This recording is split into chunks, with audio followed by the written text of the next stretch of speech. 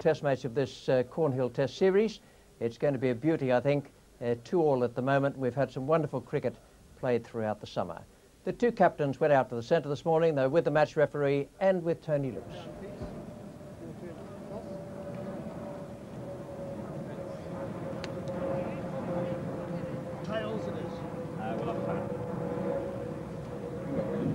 Morning, gentlemen. How the tosses gone overall, the whole series, do you know?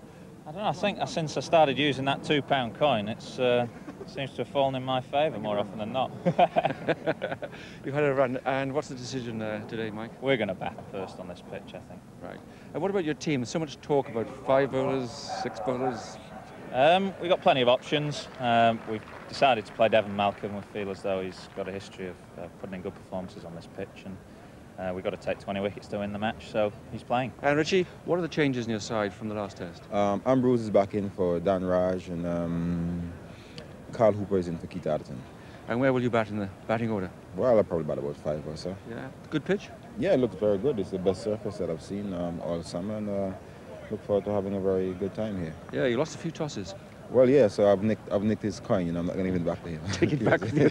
Since he started using it, I haven't, I haven't won the toss, so, you know. And confirmation of those teams, England, Atherton, Gallian, Crawley, Thorpe, Hick and Wells, then Russell, Watkinson, Cork, Fraser and Devon Malcolm in the side on this ground uh, where he likes bowling so much.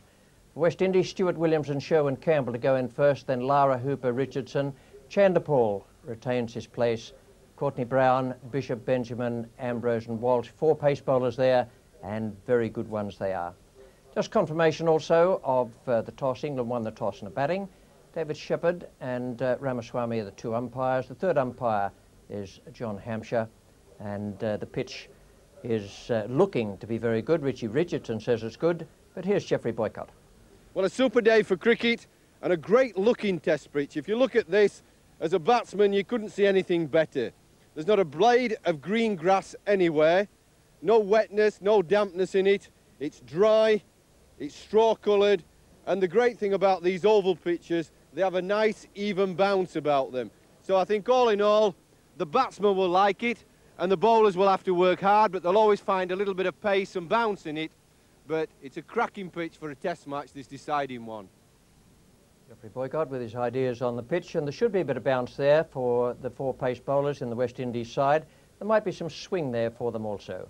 We're joining it now with the second ball of the first over. Curtly Ambrose is the bowler. The England skipper Michael Atherton is taking strike.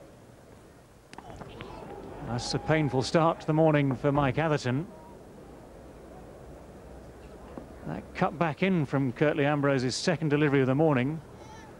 It's not often you see the England captain sink to his knees like that. Just in round about the midriff.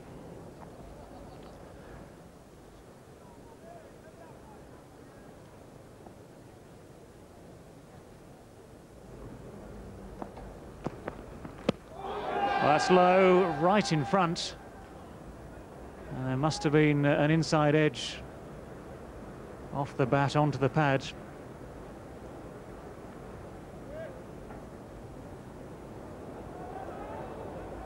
Or maybe just outside the line. So the first test, first decision for umpire Viren Chuparam Ramaswamy. More easily known as VK.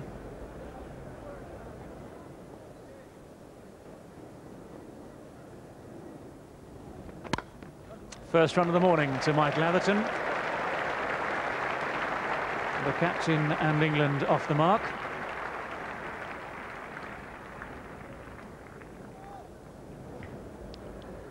David Shepherd, VK Ramaswamy's partner for this match. Kenny Benjamin, the fielder at mid-on, doesn't look entirely happy. I think he hurt his shoulder a little bit when he started to throw. Well, a slice of luck there. Atherton gets four for it, but uh, beaten by the look of it by just that little bit of extra pace. Just seems slightly late on the shot. Well, it just nipped back on him, and I don't think it bounced too much, actually. I don't think it bounced too much at all. He left a big gap, and it was a Chinese cut that he got away with.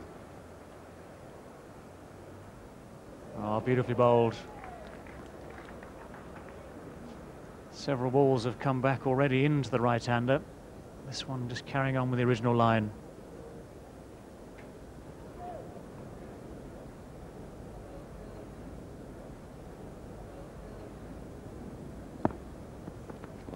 Got him. Well taken at first slip. Courtney Browne dived right across in front of first slip there, making it just that bit harder for Carl Hooper. But Jason Gallian is out. Well, I can't tell you how good a catch that was by Carl Hooper. You think it goes straight in, but watch the wicketkeeper, as David says. Oh, dear, to hold on to that. What a good catch. This was a typical Curtly Ambrose delivery, just outside the off stump, just a hint of movement away from the right-hander. But Carl Hooper did ever so well. Once the keeper starts to go for a ball like that, the man at slip always has the impression of this object flying across in front of him. And it really does distract you. So uh, Carl Hooper, full credit to him. Would have been a straightforward catch without the dive in front of him. As soon as that dive came, that just added to the degree of difficulty. So England nine for one and John Crawley at the crease. He won't be facing that wicket coming from the final ball of Curtly Ambrose's second over.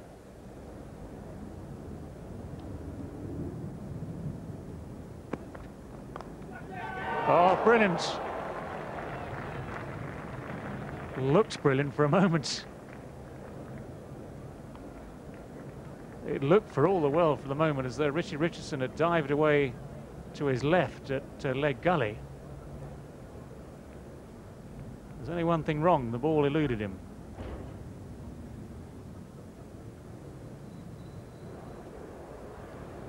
Three men in the slips for West Indies this morning. Carl Hooper, Stuart Williams, the opening bat, and Shivnarine Chanderpaul at third slip, playing in his second test match of the series.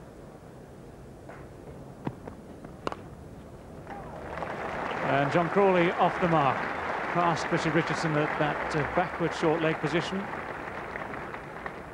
Capacity House expected at the Oval for all these first four days of this final test match. Just the odd seat yet to be filled.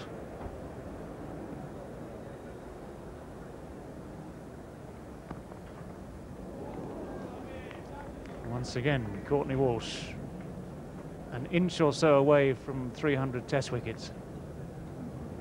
Well, I like that line It makes John Crawley play. It's a little bit wide, actually, but I think he plays at that a little bit because Walsh has done him twice, padding up.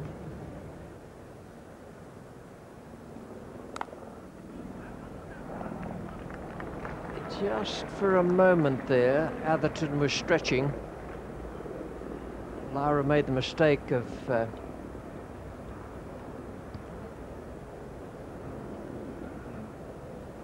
made the mistake of taking his eye off the ball just there.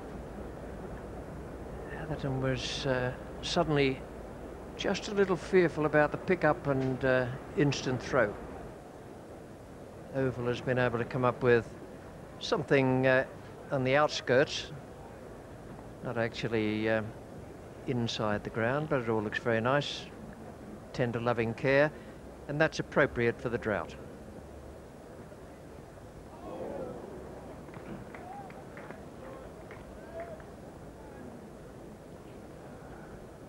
Just a little bit more pace here, but the movement is just as exact for Kenny Benjamin. And Mike Atherton drawn into the stroke, but just outside off stump, just outside the edge.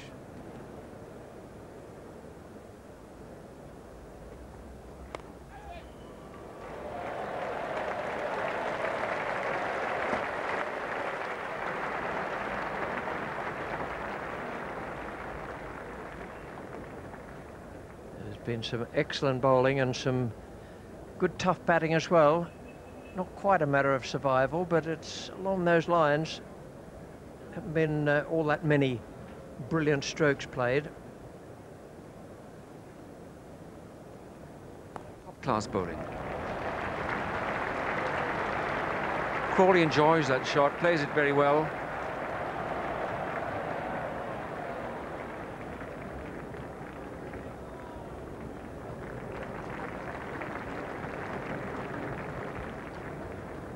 Alan Wells is the man who comes in at number six, is pretending to read.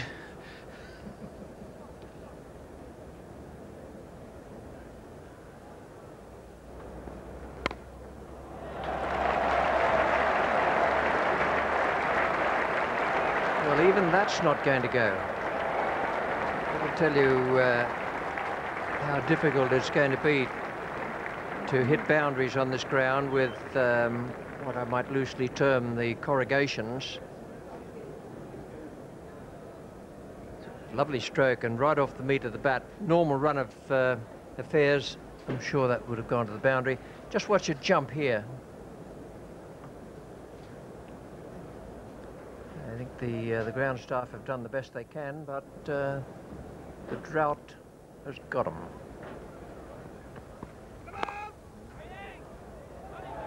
Ball call from uh, umpire David Shepherd. Up comes the 50. Good firm stroke for the half century for England. One wicket down, that of Jason Gallian. Now Ian Bishop is... Uh, well, Ian Bishop actually was, wasn't watching where his foot was landing. Be a physical impossibility to do so. The only man who is watching it is um, umpire David Shepherd.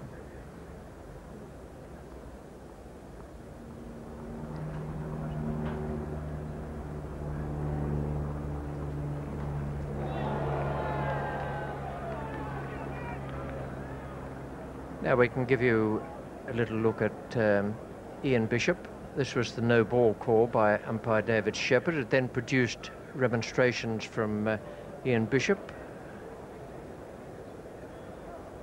And it was a no ball because no part of his foot is behind the line. He was pointing out to umpire Shepherd where his foot landed. As I pointed out myself, he had actually no idea because he's looking down the pitch at the spot where he wants the ball to land by David Shepherd wasted about uh, six or seven seconds on it. Nicely steered. Didn't try to hit it too hard. Just let the ball come on. I sense a little bit of frustration for the West Indies fast bowlers. The ball's not moving very much. Just maybe slightly left the batsman, but it was nicely steered off the back foot.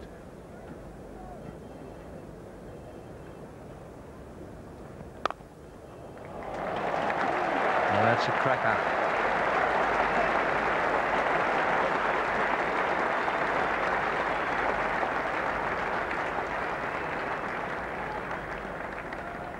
Mm, no great uh, amount of foot movement, but there was plenty off the bat.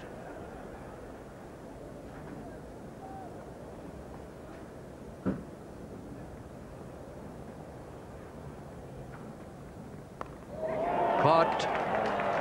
That's well bowled. Benjamin has been at these two batsmen all the time. He's kept the ball swinging, moving away off the seam. And that one had a bit of lift about it as well. Atherton has gone for 36. Stuart Williams was the fielder at slip. He's looked to have a very safe pair of hands, and that was neatly taken. Well, it was well bowled because he's persevered outside off stump. He's not been afraid to keep the ball up and keep it there. It's not done very much, that. It just bounced a touch on Michael Atherton. Just a very fraction left him off the seam, but it bounced, that's the key. You only need it to move a touch if it goes at pace and bounces a bit. Graham Thorpe is the new batsman.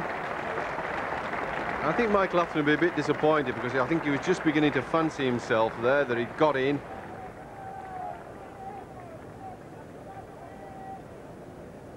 Now, Ian Bishop about to start a new over.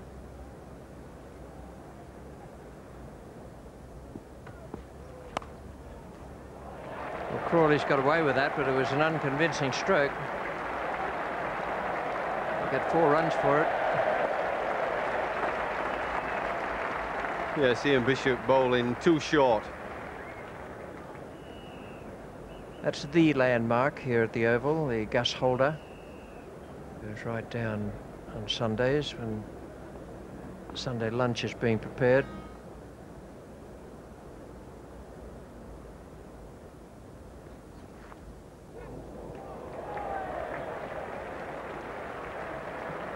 That was quite extraordinary. Let me show you the replay just see how the ball swung after it got past the batsman. Gave Courtney Browne no chance.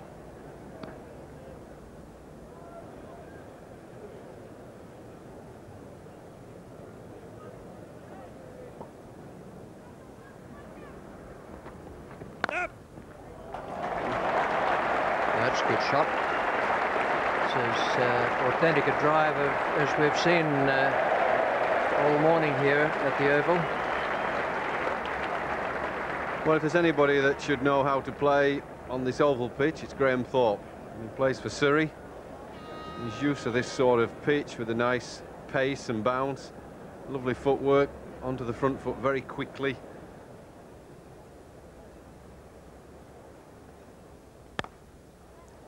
Fine shot from Graham Thorpe.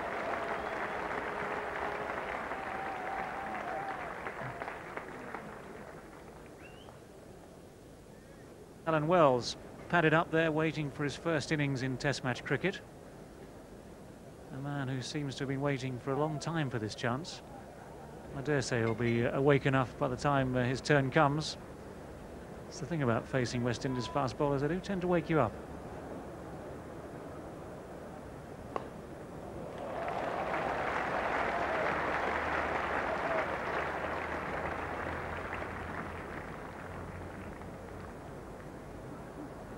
Seeing that underarm throw of Kenny Benjamin's from wide long leg there, he was a little bit worried about a throw he made first thing this morning. Seemed to do something to his shoulder in the process. I'm sure after bowling so many balls in this test series, six test series is a very, very long time to be bowling and it's not finished yet. Brian Lara on his way off the field. Keith Arthurton tags his way onto the field.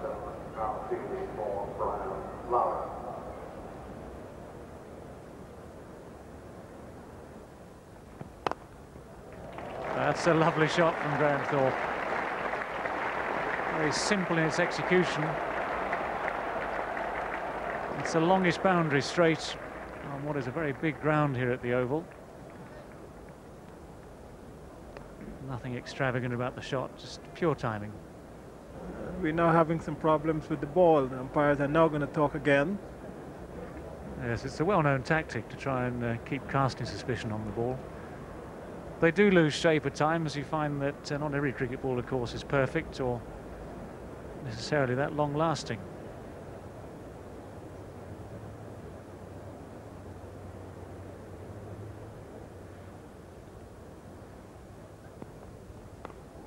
That's lobbing over. That's clearing the gully.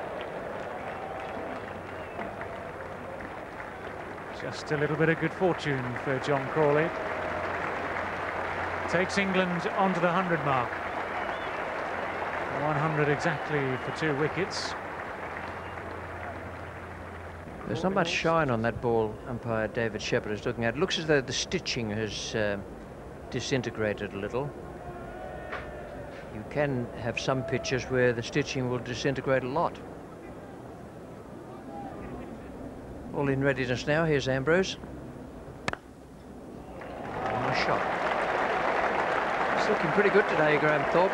Been sitting at the uh, back of the box watching him. He's been playing straight all the way through that arc between mid-on, mid-off all the time.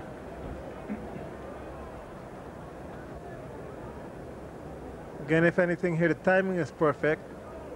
Not very much wrong with the pitch of the ball or the amount of bunks that Ambrose got, but Graham Thorpe's timing is so spot on today.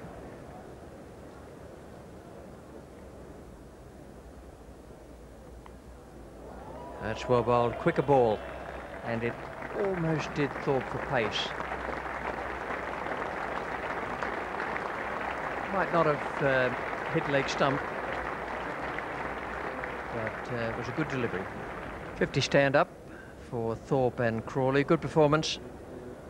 It's been a, a tough, fiercely con uh, contested match so far, the first day of this uh, sixth Cornhill test.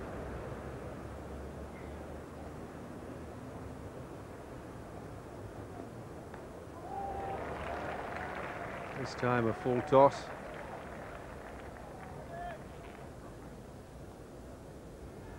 Crawley might well be hurt there. Not sure if he got any bat on it at all. It was uh, pitched up.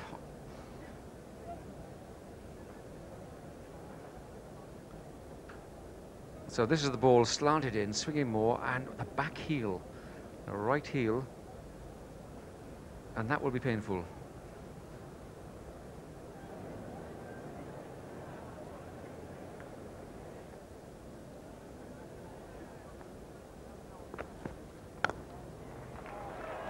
Fine shot and a fine stop. Sherwin Campbell, the man of cover.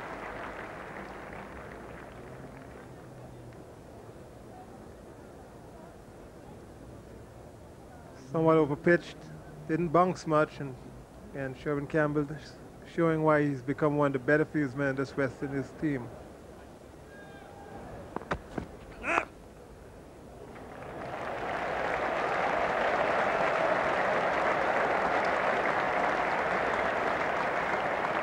Very easy way to take four runs. Just let the pace of the bowler and the pace of the ball do the work. Graham Thorpe in complete control of the shot.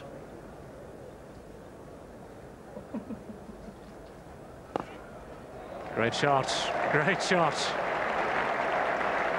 John Crawley doesn't use his feet that often to come down the pitch like that. That was a great example of how to get to the pitch of the ball and place it away through the onside for four.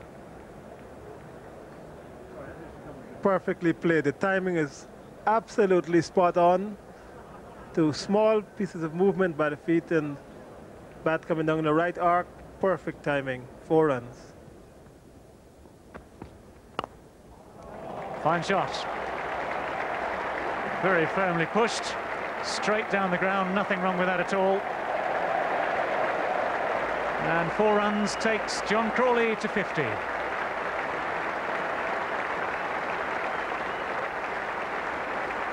That's a third Test match 50 for John Crawley.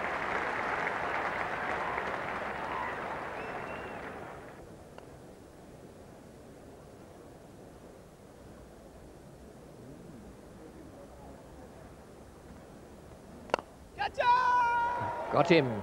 First ball is faced after tea. Half volley in this over. Hooper has given the ball more air than he did uh, in the pre-tea session. And now there's the breakthrough. Well, the lollipop bowler has struck. Carl Hooper throwing it up. And John Crawley's made a real bad error. He played so well, 50 not out. Will have gone in at tea thinking uh, the opportunity on this very good pitch to make 100. And he spooned it just a little too early, straight at cover. Nice, neat, low catch, but you'd expect to catch those. That really is a big disappointment because that's just purely an error on the batsman. Graeme Hick, the new batsman, taking John Crawley's place. Big breakthrough there for the West Indies. Just what they needed to get them going in this final session.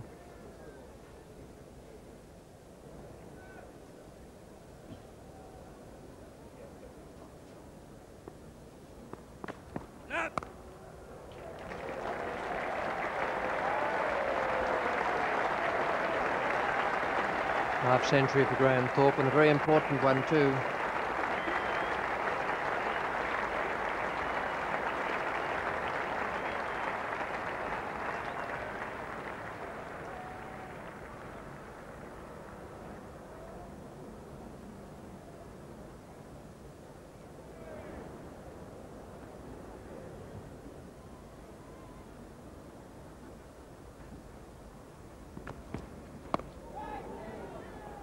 Beautifully bowled. That uh, is not just skillful bowling from the physical point of view, but good brain work as well. And the jags back at Graeme Hick often uh, poses him a problem. You see, that was a marvellous shot, was that? I mean, a very short backlift, little punch shot. He knows this pitch so well, being a, a Surrey player.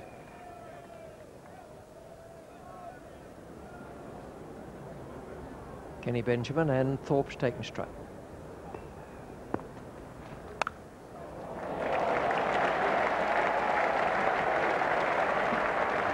that down as uh, very close to the shot of the day, even if it wasn't the ball of the day. Well, he's so comfortable with the faster bowlers. He was a little bit careful when Hooper was bowling. As soon as he gets the seam up, he's after them.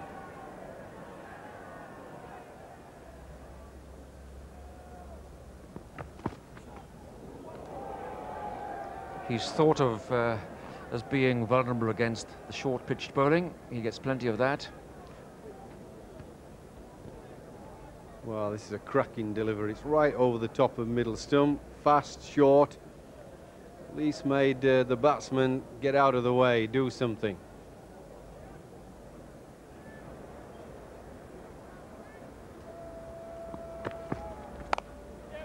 And he gets away.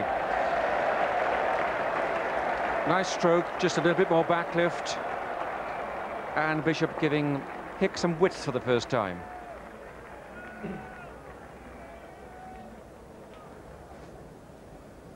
Well, it's been one of the fun spots of the summer. The sun has brought out all the funny hats.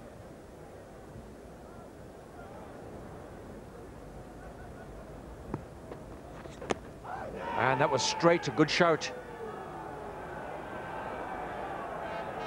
And that's the sort of bustling style of Benjamin, which really worries the England batsman.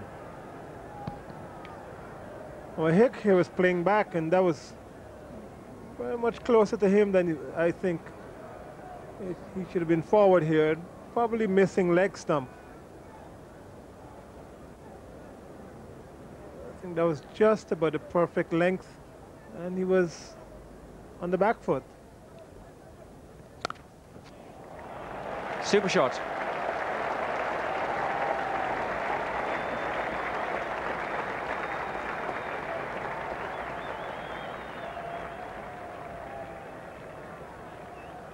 Again, the width given here and Graeme Hick would quickly dispatch this type of bowling. This is bad bowling. You have to bowl consistently in one length, on one line, if you're going to be able to control the batsman.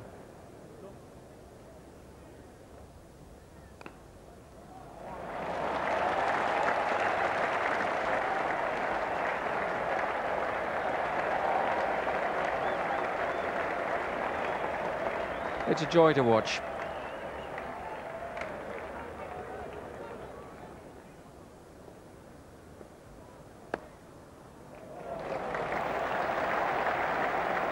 Really good shot. He plays those punchy little drives, Graham Thorpe. Just leaned on it. No flourish.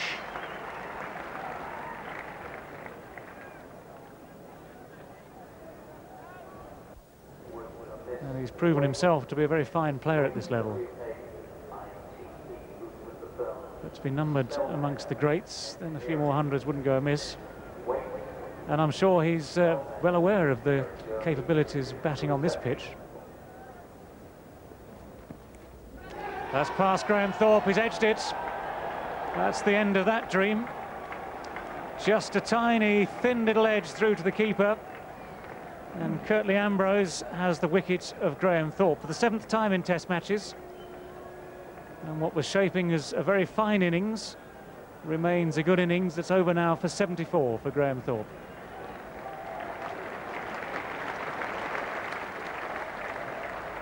Very standard, typical right arm over delivery to the left-hander. Thorpe's left a lot of those very well through the day. And the reason he'll be so disappointed is, you know, he could have done it again. He's judged the ball particularly well through most of the innings. But this Oval crowd giving a very good reception now to Alan Wells.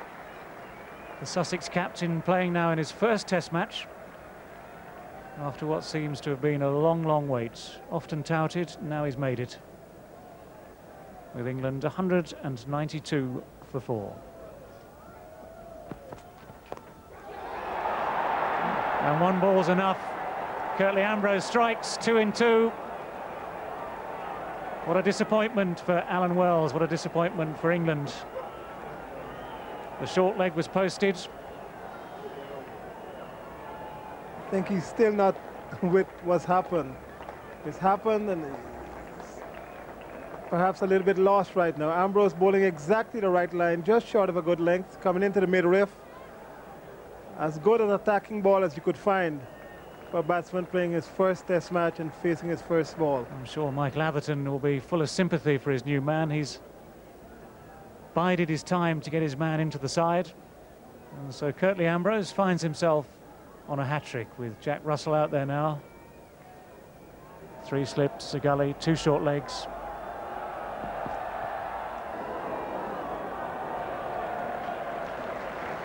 So two wickets in the over for Curtly Ambrose.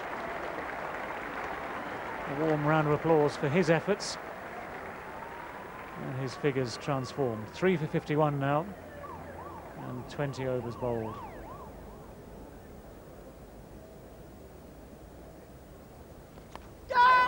That's flashed past slip. That was an impossible chance. Not controlled at all. The top edge. No chance at all for Stuart Williams. It's a good stroke. Nice footwork.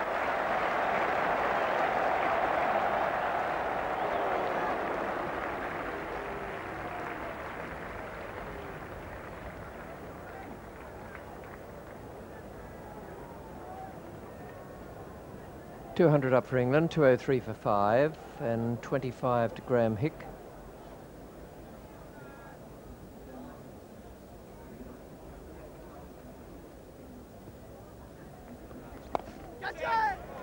It's safe. The shouts of catch it. But it's finished up as four runs. Well, and so it should do too. Carl Hooper bowling off spinners with five on the offside and only four on the leg side where the ball is spinning to. Is a really poor field placing.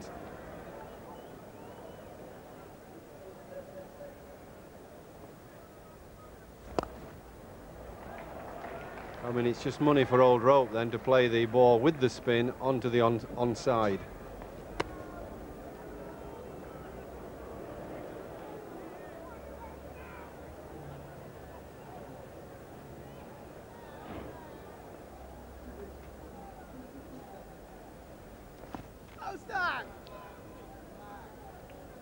Quite a justified shout. There's certainly no intention to play a stroke there.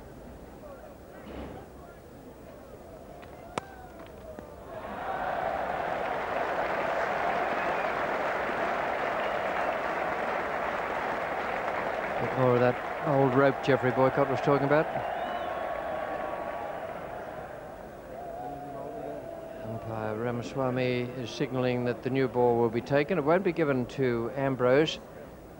I think I'd have been inclined to give him one. He's loose. Looked as though he's firing on 12 cylinders. They've given it to Ian Bishop, who's fresh and may also be firing on 12.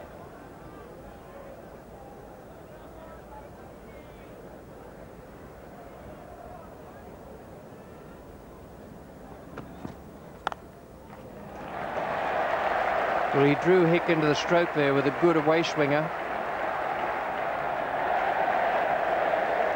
And Hick got four for it. One millisecond.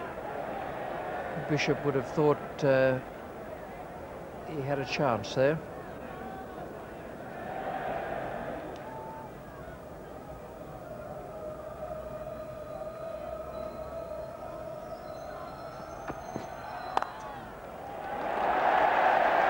Too short.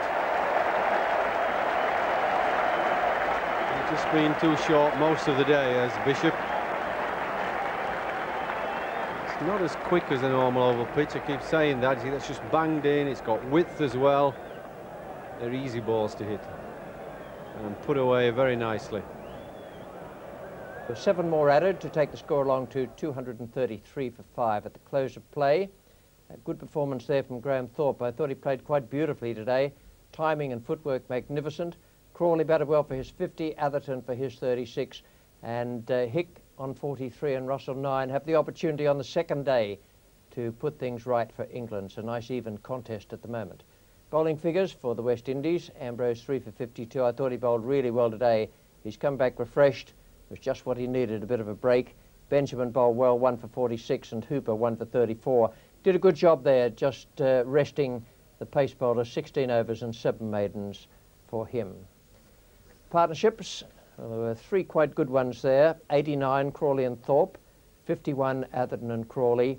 And Thorpe and Hick uh, put on 43. And still there, Hick and Russell 41. That's a good effort, and that was precisely what England needed.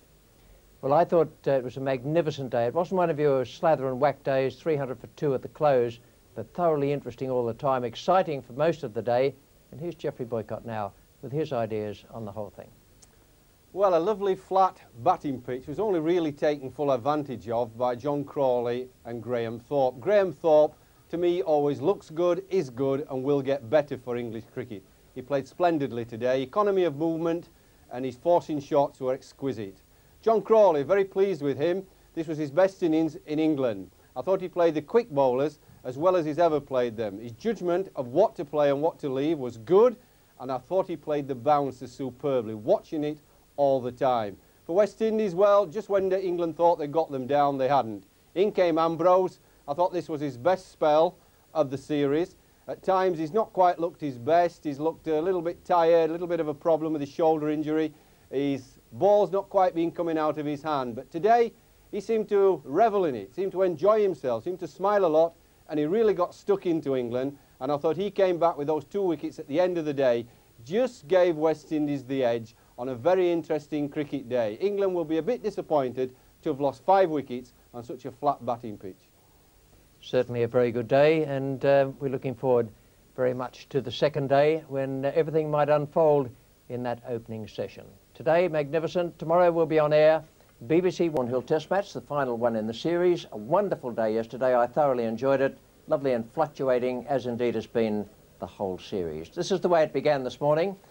233 for five, 36 to Atherton, 50 to Crawley, who played well under pressure. Thorpe, I thought, a great innings for 74, and Hick unbeaten on 43 with Jack Russell. 21 extras in the 233, and the bowling figures for the West Indies, I thought they were much too short all the way through. Ambrose, 3 for 52, Walsh, none for 37, Benjamin, 1 for 46, Bishop, no wicket for 53, and Hooper, 1 for 34. Well, yesterday there was plenty of bounce in this pitch. Here with this report now on the second day is Geoffrey Boycott. Second morning, a bit overcast and breezy, but still very pleasant. We look at this pitch, it's still very dry. It's like a fourth or fifth day normal oval pitch. You've got one or two little cracks here, look. You'll get the odd low ball from these. One or two stud marks, the fast bowler went around the wicket.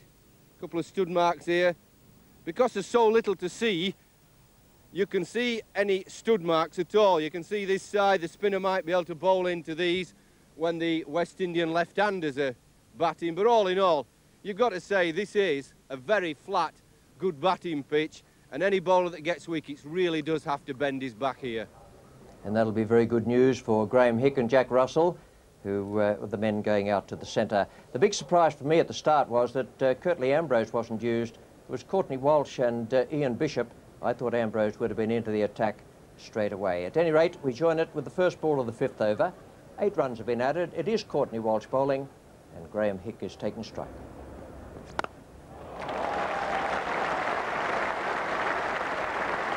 Beautiful shot, perfectly timed, well executed. First time Courtney Walsh was over pitch this morning, Graeme Hick was immediately onto it just about half volley length. And the bounce was perfect. Timing, no chance. Four runs. It was full meat of the bat. Now Hicks on 49.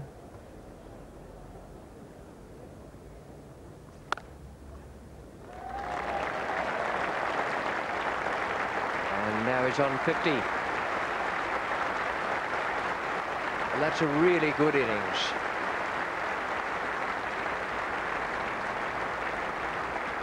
state of the game yesterday when he came in. That's top class. A deal of courage has gone into that after what um, yesterday was a very ordinary beginning.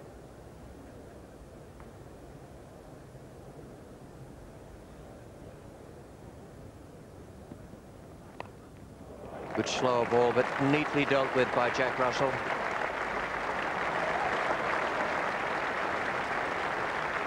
That's good stroke.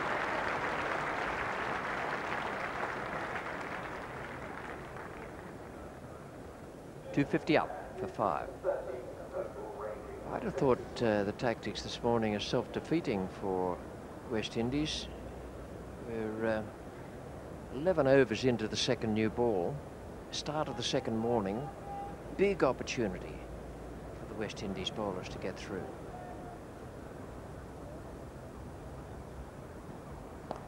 Good shot.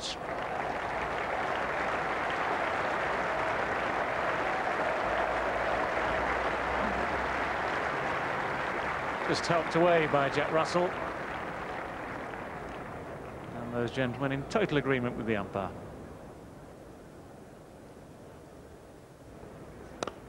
That's a great shot. Beautifully placed. Courtney Walsh has strayed too often this morning.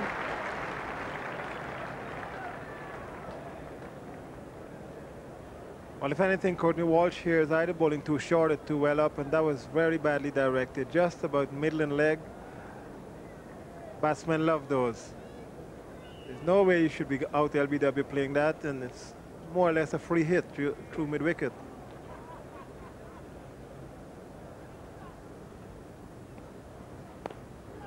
It's in the air and wide of Brian Lara at square leg. He's going to get four more for it. Almost deceived by the slower ball from Courtney Walsh. Although he was just a fraction early on the shot, he managed to get the ball directly between Sherwin Campbell at short leg and then Brian Lara at backward square leg.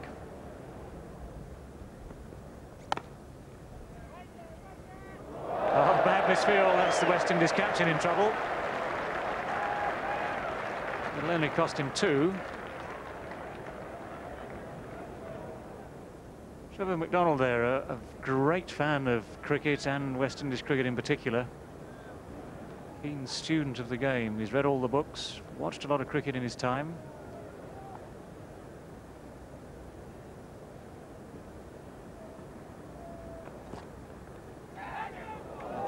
Might just have taken a glove on the way down.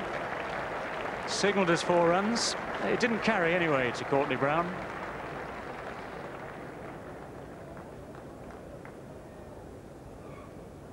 Well, there were shouts of catch it to this. I think Courtney Browne would have been miraculous had he taken that. It was in front of him on the leg side. Very difficult. Not counted as a chance. I'm as puzzled as most people must be that the best two bowlers for West Indies, Ambrose and Kenny Benjamin, can't get hold of the newest ball. Two bowlers who've not been successful, Walsh and uh, Bishop, and have not looked like taking wickets, have been bowling. I mean, Bishop to me is Charlie halfway. He's halfway down the pitch all the time. That's four. Very well played by Jack Russell.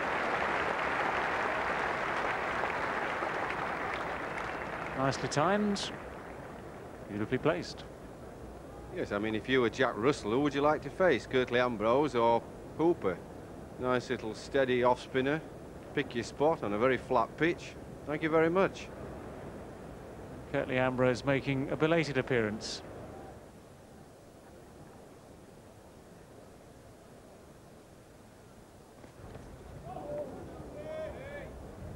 Well, we haven't seen many get past the bat this morning.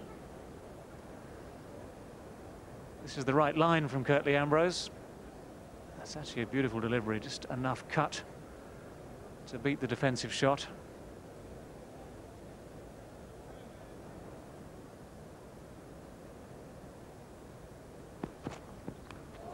Edged, and he's got away with it. That ball really flew high and fast.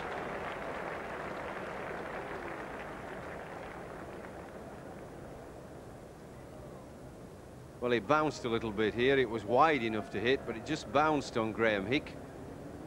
Keeper got a glove on it, but couldn't hang on.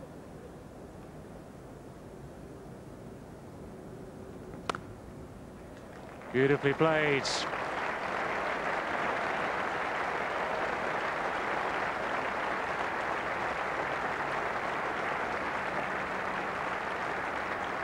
Anything that's slightly short from Carl Hooper and also slightly wide like this real meat and drink to Graeme Hick.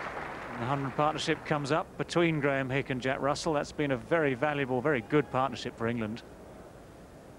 Money for old rope is Carl Hooper. You only get yourself out. Long on here, coming into our picture. That's what he thinks of Carl Hooper. And the fielders run in from the boundary to pick up the ball while Hick takes three runs.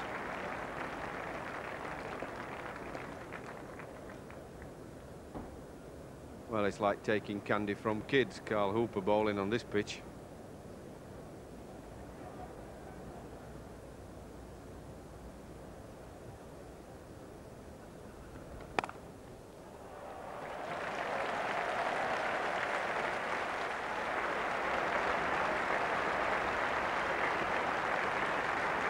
Three hundred up. 301 for five, 14 now to Russell and 76 to Hick.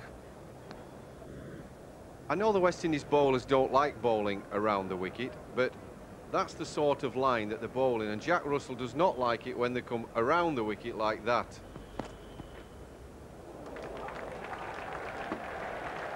Curtly Ambrose is furious. Furious with himself. Waiting for the tide to turn.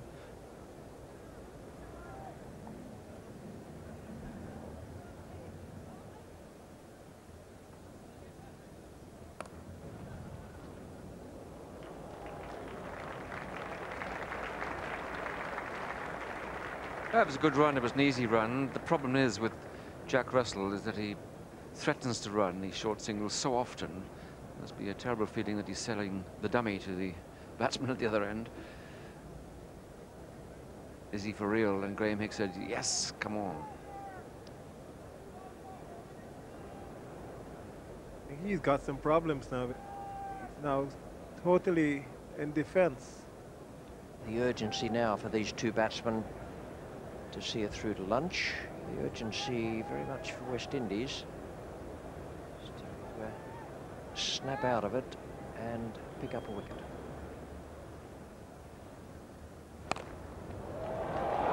Well, looked for a moment to me as though he lost it in the background. Jack Russell expected the ball to bounce a little bit more because that was pulled just about outside off stump to square leg. And under normal circumstances would have been straight in. As easy a catch as you could get at square leg. Not been a very good session for the West Indies.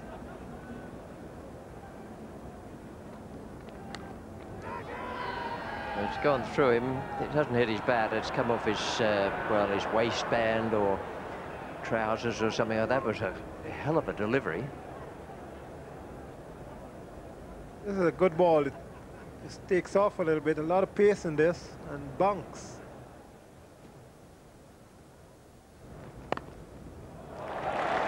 That's a chase for Chanderpaul just to add a bit of insult to the injury of the drop chance.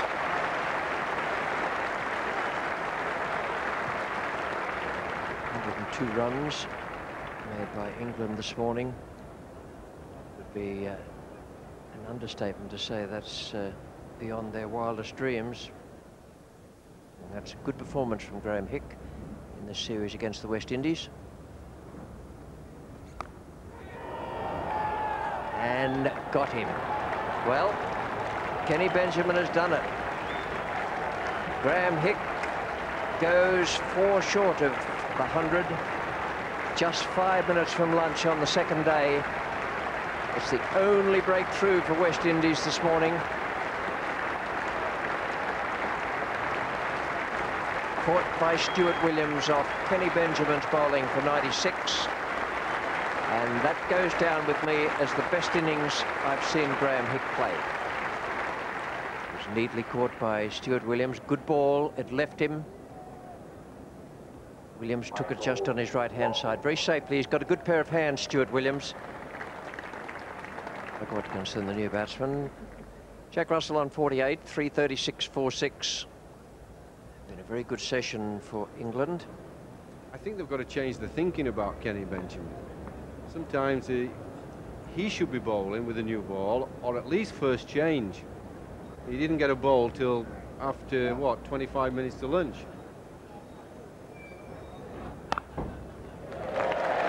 There's 50 for Jack Russell. The punch of the bat denotes his satisfaction.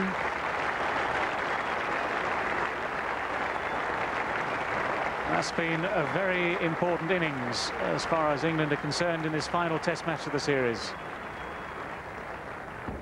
Graeme Hick, happy enough with 96. Disappointed not to have turned it into successive hundreds.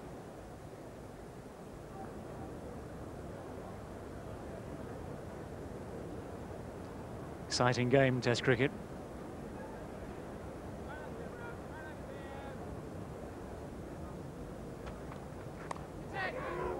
I think that just carried. Courtney Browne again diving away in front of the slips. Well, big disappointment for Kenny Benjamin. I don't think it was so easy for the uh, keeper, but uh, you've got to call it a chance.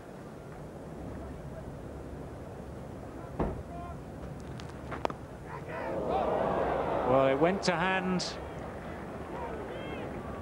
It would be very harsh to put it down as a chance. Sherwin Campbell at short leg. He has some great reflexes. This was not middled. It was what you might call a, a pretty firm poke. Ian Bishop making his way up the steps. Which means that Keith Arthurton is back on the field, regular substitute.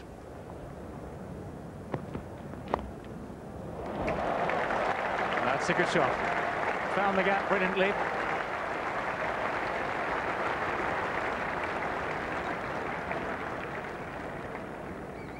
Every time that they pitch on Jack Russell's leg stump like this, it's gone for four.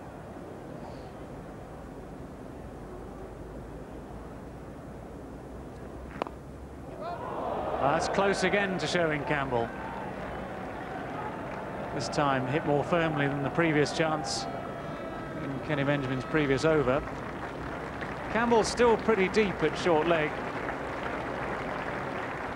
Brings up the England 350 as they move on to 351. There's some mental problems out there. Richie Richardson, the West Indian captain. Not many will agree with his approach to the day's play with the early bowl for Carl Hooper. But his fast bowlers certainly have given him every possible effort.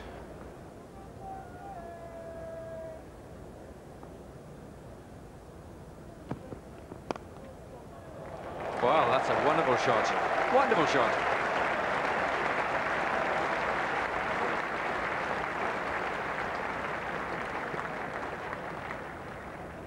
I think the game was slightly put away from the West Indies by some of the worst captaincy I've seen for a long time. Ambrose did not start this morning and started only after about an hour of really inept bowling by both Bishop and Courtney Walsh.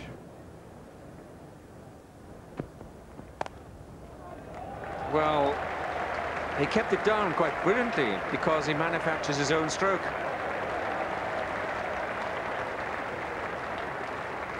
Now, don't go into the back garden and practice that because you probably scoop it through a neighbor's greenhouse. I don't see, think you'll see this shot in anybody's coaching manual, but effective.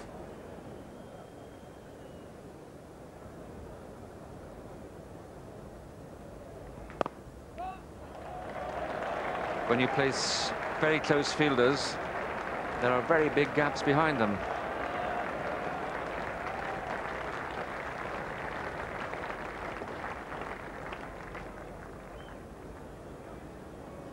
That's Mickey Stewart.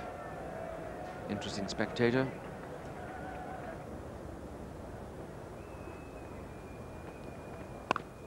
That's short and really punished.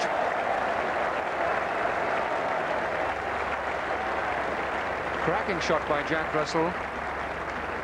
Very unusual piece of bowling from Kenny Benjamin, who really has been the bowler who's kept the ball up to the bat.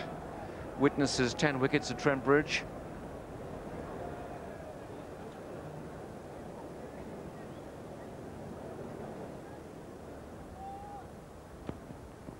Oh, a little nick and that's it and up go the arms of Courtney Walsh. His 300th test wicket has come at last. It seemed an endless wait for him. 300 wickets, an absolute totem pole of an achievement.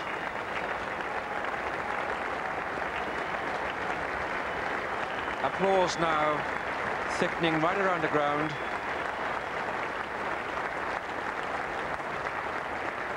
Mike Watkinson will be in the record books, at least Courtney Walsh's record books, and this is how it happened. But Courtney Walsh is going to remember this for a long time. Just the top edge of the bat there, and Courtney Browne did not have any mistakes. So two Courtneys involved, but I think the one that's most important is Courtney Walsh, 300 test wickets at 24.82. Tremendous effort. Certainly achieved something as only two West Indians have done so far beside him. That's Lance Gibbs and Malcolm Marshall. Dominic Cork is the new batsman. And we have a change in bowling. Kenny Benjamin takes a rest. Ian Bishop returns with just one slip in this time.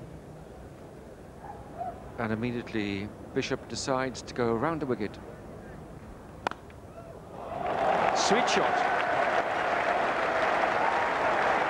Lovely shift of the weight onto the front foot. Classic.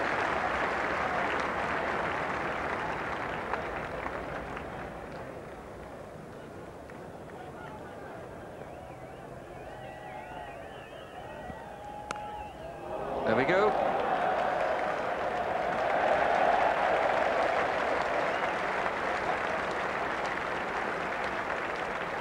Ian Bishops considers uh, what might have been had there been a third slip. 11 runs off the over. 383 for seven.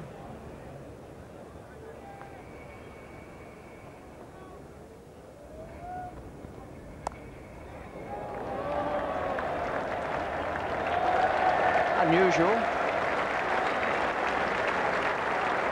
But he got away with it, and it barely raced away down to the third man down. And up comes the 400.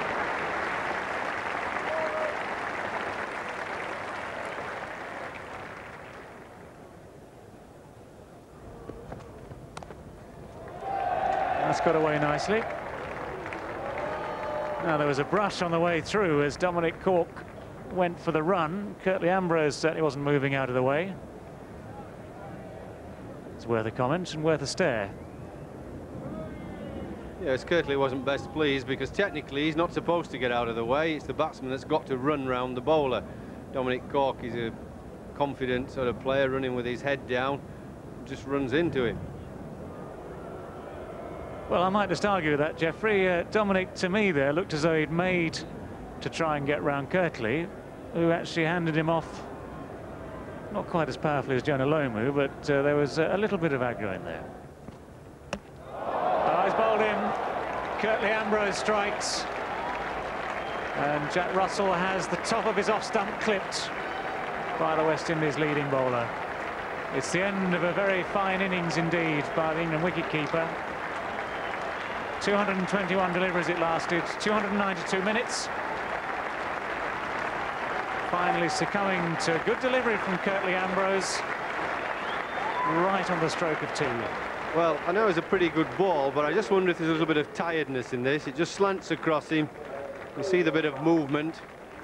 But he's been playing those pretty well all day. He's been at the wicket now four hours today, about an hour yesterday. Pitches about leg and middle somewhere, leg stump, hits the top of off stump, so that's a good ball. Dominic Cork's 19 not out. And he's been joined now by Angus Fraser.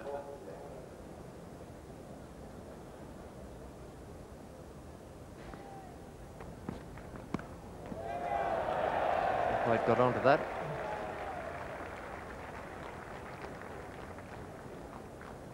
Out if it actually uh, met the bat. Looked more as though it might have uh, got him on the fingers. First time I've seen Cork try to hook here.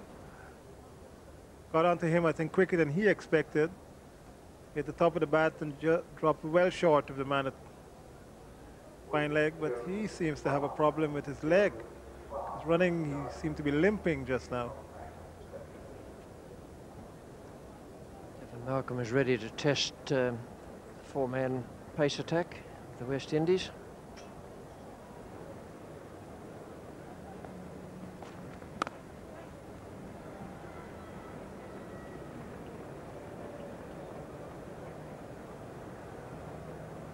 I don't think that's uh, what England had in mind with Dominic Cork.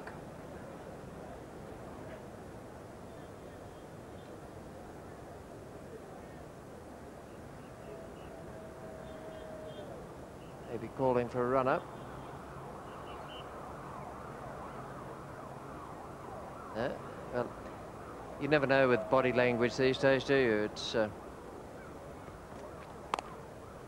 it looks as though he wants a throat spray, but he's limping.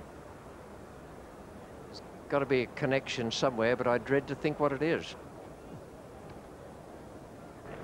Well, I reckon uh, Dominic Cork did the damage when he played that hook shot off Ian Bishop. Played it there, came off his hand.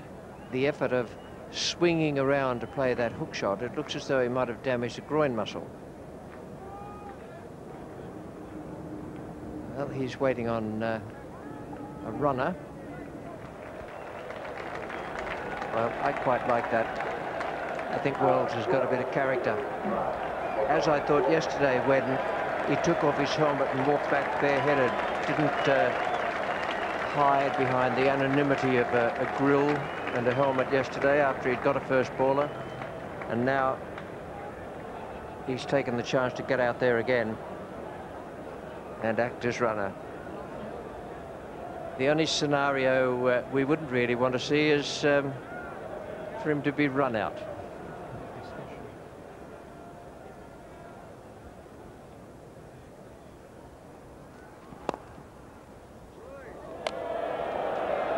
It's quick work, but uh, not quite quick enough to get Fraser.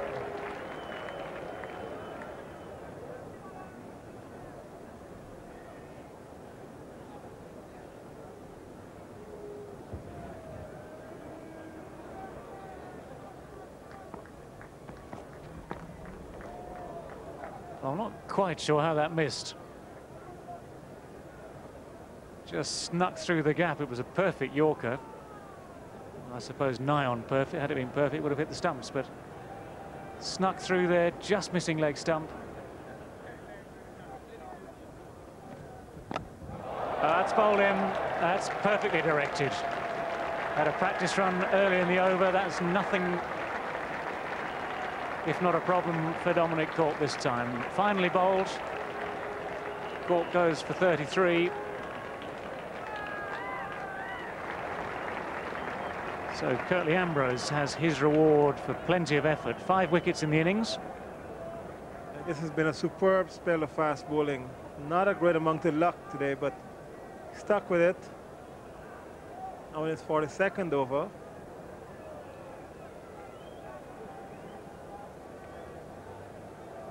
And there's the state of England's first innings. That's a healthy total, 443. One more wicket still to fall. Place your bets now. Devon Malcolm facing Curtly Ambrose.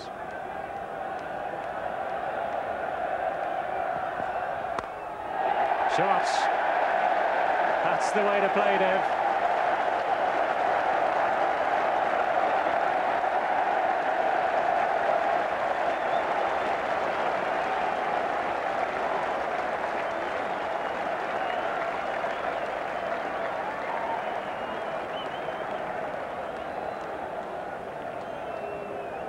This shot here has brought up the biggest roar of the day.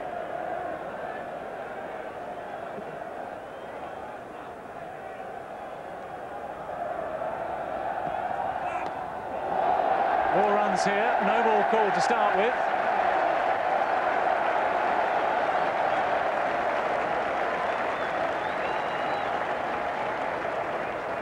Curtly Ambrose doing the right thing, still trying to fire in these Yorkers. A contented captain. Very happy to watch from the comfort of the dressing rooms here. Someone else looks vaguely familiar too and far more active.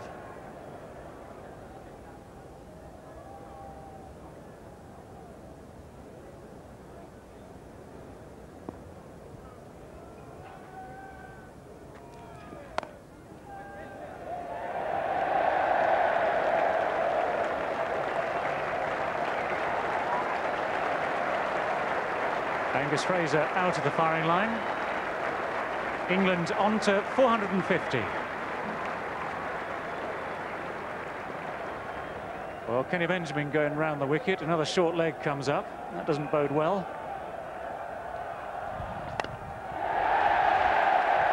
Oh, take that.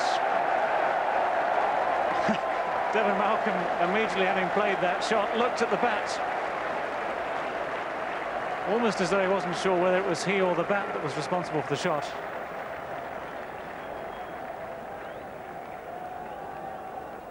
Actually, I well, think actually, that's why. I think there's a piece of the bat that's been taken out with that shot. It must have been hit with tremendous power. That skied over cover and caught. So a good catch by Brian Lara to wrap up this England innings. Who knows if that little bit of bat had still been left on. Devon Malcolm might just have cleared Brian Lara there, but uh, an entertaining finish to this England innings. That was a great performance from England, 233 for five at the start of play and then 454 all out. That's the best innings I've ever seen Graeme Hick play, 96 and Jack Russell did a great job also for his 91. The bottom of the order, I thought, did wonderfully well. 13, 33, 10 and 10 to take it up with the extras to 454. And just to underline what a, a terrific job was done with those later order batsmen, as well as the ones uh, at the start and in the middle. The partnerships there up the top, 51, 89, 43, but then Hick and Russell, which ended today 144, and from there down to the end, 36, 47, 24 and 11. That's a very good looking list of partnerships and uh, it's reflected in the West Indian bowling figures. Curtly Ambrose, I thought he was outstanding. 42 overs, 10 maidens, 5 for 96. He bowled with intelligence as well as skill.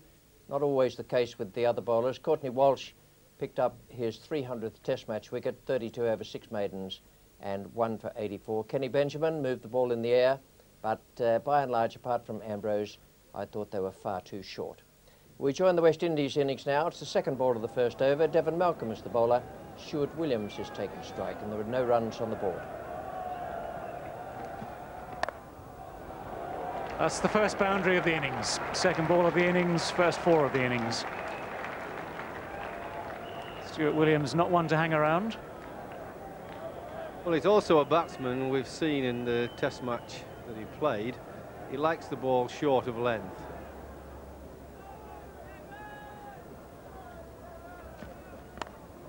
That's flowing through slip. Well, the runs are flying off the edge of this bat. Well, partly the middle, partly the edge.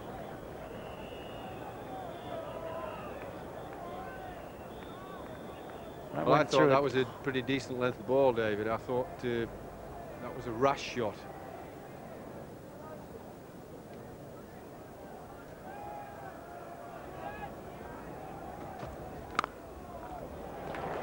Cracking shot. Well, I'm not certain about the footwork, but the backwork was scintillating. Yes, he won't play a better shot than this. But look at the feet, they've not moved. You get a pitch where it moves about a bit, he's going to have a few problems.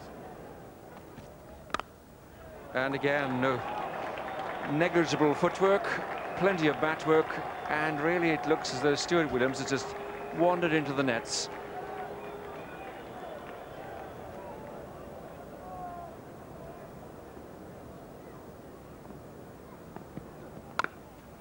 Another good shot. Watkinson is chasing.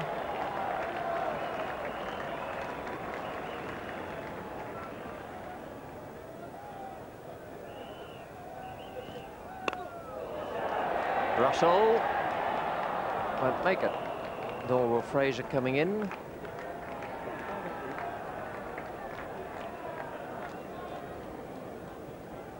Well thought out, well bowled.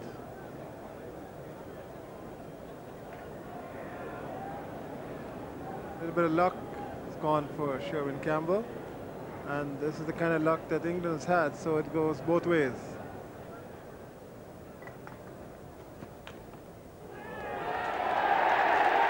Given him. Williams goes. No doubt there's a sound, but uh, I don't know that Williams is totally enamoured of uh, the decision.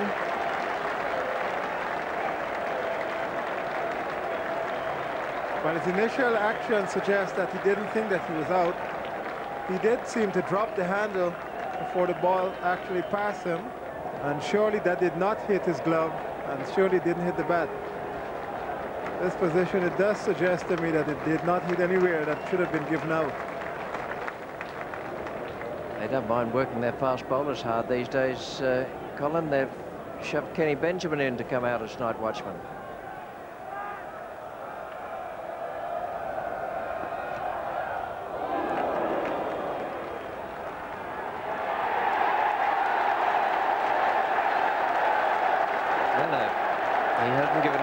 He's just saying that that's one bouncer for the over.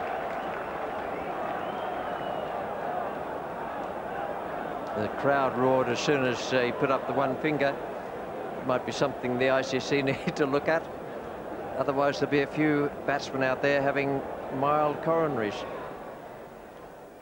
Certainly could pose some problems for batsmen if uh, umpires keep on doing that. Stuart Williams, uh, the man there, who might have been just a shade unlucky, got by Russell off Malcolm for 30. Campbell unbeaten on 17. Kenny Benjamin, the night watchman, on two. There's one extra, and it's 50 for one.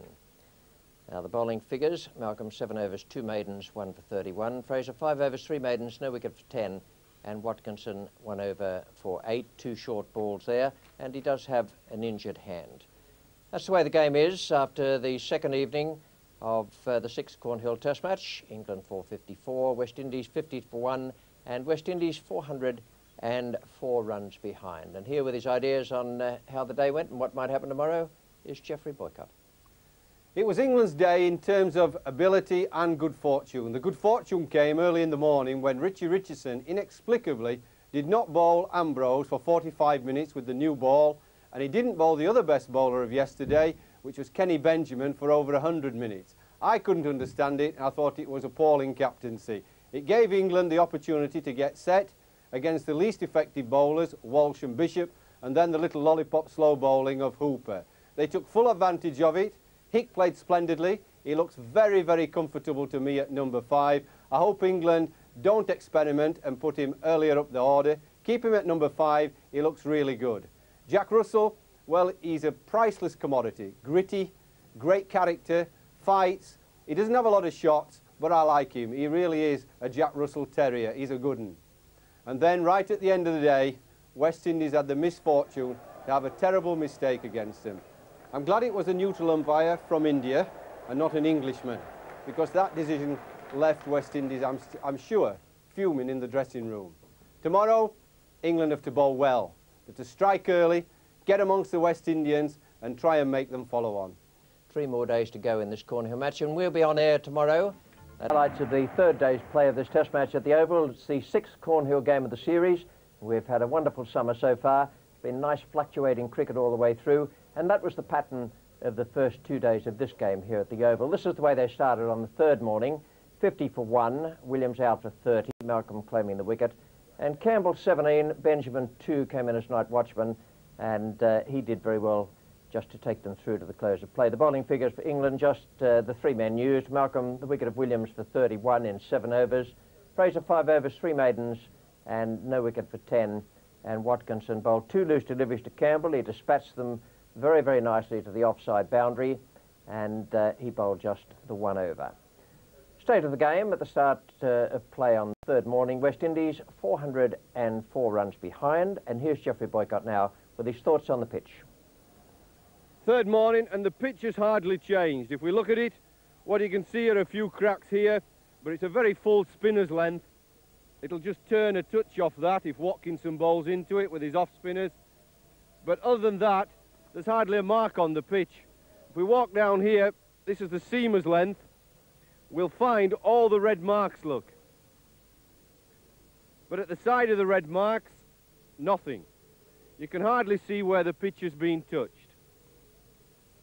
I think he'd play on this pitch for another week, and I don't think anything much would happen. Look at him all over the place.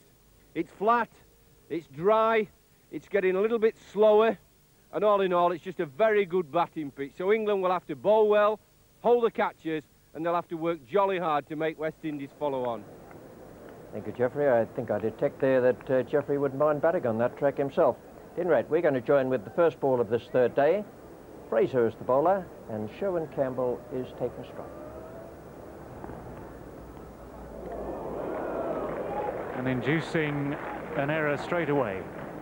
Wide of the off stump. And not a good shot to start the morning with from Sherwin Campbell. Nowhere near the ball with his feet, nowhere near the ball with his bat.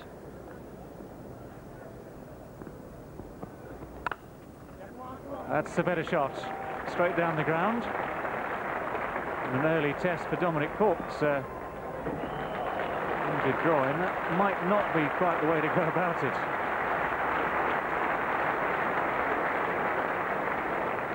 You can see him still uh, looking very ginger there.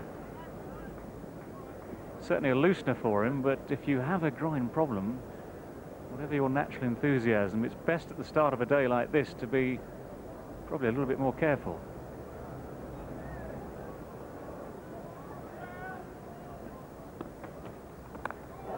Oh, chance goes begging.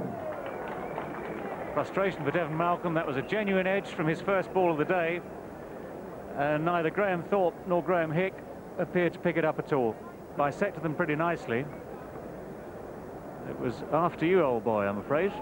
I'm sorry, no, that's yours.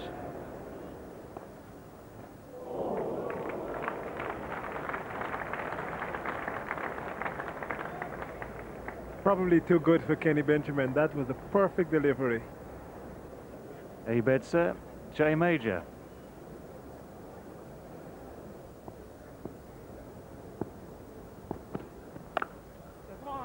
That's a great shot. A chase for Alan Wells that's going to turn out to be fruitless.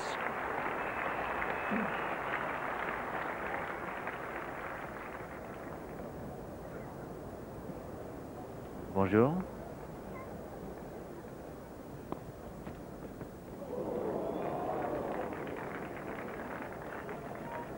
Bowled. Wasn't all that short, but it got up just enough to uh, bring the batsman into the stroke Just cramped him a little for room as well. I think I might have been tempted to get to Cork into the action pretty quickly. Ah, he is just about to come on. But uh, I was thinking basically I might even have uh, opened with him. You'd want him to get into the action because he just seems to be a golden arm at the moment. Something happens. Something good happens for England. Well, the first one will be a possible problem could be short, or it could be up, making him play. Always trouble when you... This final test match, the Cornhill Test at the Oval, test uh, series containing six such games, and we've had some wonderful play, not least yesterday with that 179 from Lara. That shows up on the scorecard of the West Indies side as they start the fourth day, 424 for four, 179 for Lara. Caught Fraser bowled Malcolm. Richardson, 87 not out, and a good innings too from uh, Sherwin Campbell. Kenny Benjamin, the night watchman, did a good job. Bowling figures, well, they reflected uh, in the batting as well. A lot of runs made yesterday at a very, very brisk rate. Malcolm, 2 for 95. He dropped Hooper off his own bowling. They'll regret that, I reckon. And uh, a wicket for Fraser and one for Cork. And the state of the game, England 454, West Indies 424 for 4 and the West Indies 30 runs behind. Well, the pitch has been very good so far. Here's Geoffrey Boycott's report on today. Fourth morning at the Oval. Just have a look first on this very good pitch where Dominic Cork has been sticking his big feet and the umpires have been getting a little bit cross. This is about middle stump to middle stump. He's not supposed to have stud marks here. And that's why he's been warned twice by the neutral Indian umpire. There are the stud marks, clear as a bell. That's about middle stump, middle to middle. And he's on the danger area. He's got to keep off 12 inches from that. If we move down the pitch, it's not really changed at all. It's just getting drier and drier, more straw-coloured. And as that happens in this heat and sun and the little bit of wind, you might get an odd little mark like that.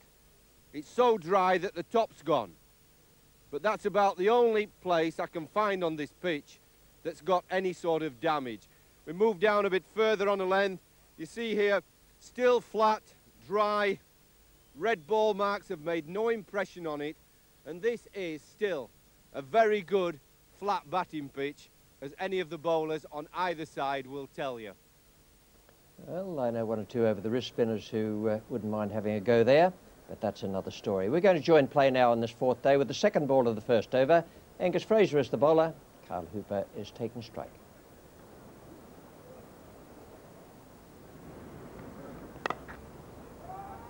Sweetly timed.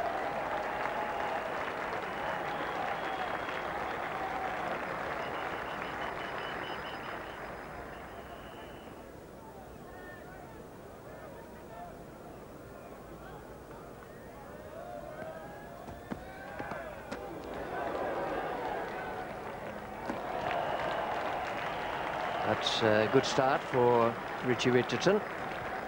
Loose delivery, banged away down to fine leg.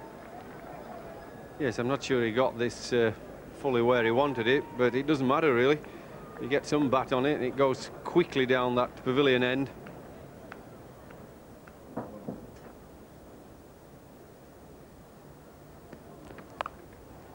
Oh, wow. What a start. That was a simply brilliant catch. Richie Richardson gone for 93 to one of the most brilliant catches you'll see. Came right off the meat of the bat. And the fielder, Graeme Hick, had to go to his left. And he has taken a blinder. Well, it really was a ball that wanted hitting. It's halfway down the pitch. It's right in the slot for Richie Richardson, his famous back foot slash. But he's got to miss the man, especially if he's a brilliant catcher like Graeme Hick. Bit of disappointment there for Richie Richardson. You can tell from uh, his body language, he couldn't believe that uh, catch came off the middle of the bat. That brings in the new batsman, Shivnarine Chanderpaul. It's a very good start for both uh, Cork and Atherton. Oh, that's worth asking. It was very well bowled. He's got himself just outside off stump, but the big question is, was he playing a stroke? Ooh. Well, there's movement after the ball struck him. That was beautifully bowled by Dominic Cork.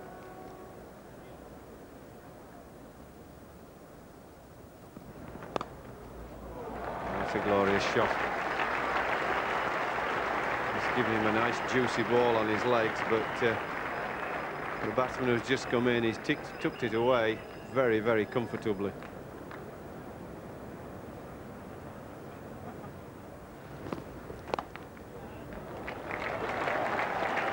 That says a lot about the pitch. Just eased onto the front foot. But what I do admire about Chanderpaul is the way he actually does throw his weight right over the ball. He gets the movement right into the line.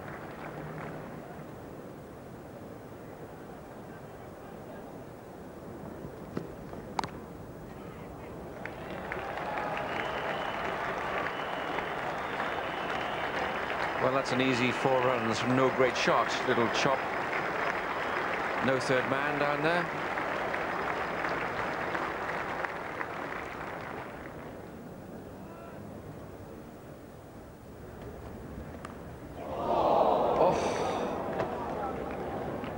Well, well, well.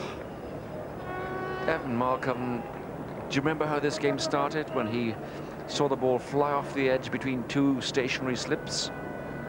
Take a look at this. Well, he was taking his bat away. He was going to play it, and then he sort of half wasn't going to play it, but it was too late. It had nicked and gone, and both slips were asleep. Beautifully bowled.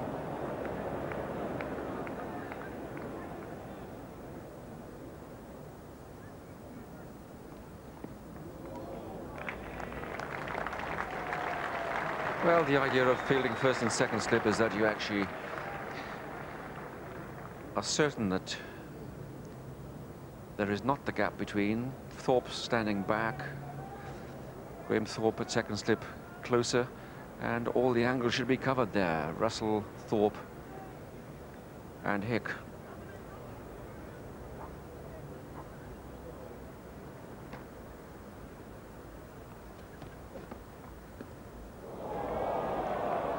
Well, that's another sign of a loss of concentration.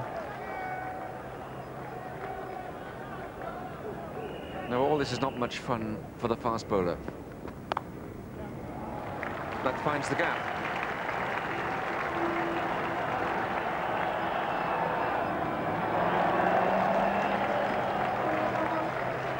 Terrific effort. But where's the ball gone now?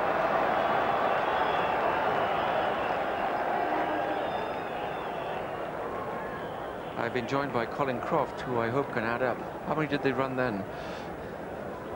Good morning, Tony. I think that's five. Good effort. Saving one, giving away two. This is the throw that suddenly set off. Very strange direction. In the meantime, we have changes here since the umpire is now signaling four. So we subtract one from five. Well, actually, I think the ball did not hit the rope, but watch Mike Atherton's feet when he's picking the ball up. He is over the, the rope, which suggests it would be four runs.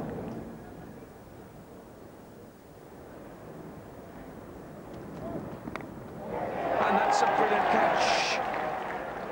He dropped it. It looked as, as he brought his hands up, it looked as if it went in. This was going down, but it, it did carry. Difficult catch, but it did carry on the full three man just about second slip. Hard catch, but catchable. Oh. Well, that hit Carl Hooper on the head.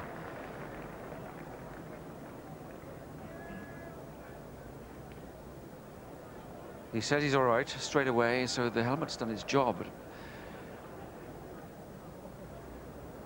Well, this is as good a bounce as you could get. Short, fast, and straight. It hit, I think, just on the middle of that piece of tape that Carl Hooper has protecting the emblem.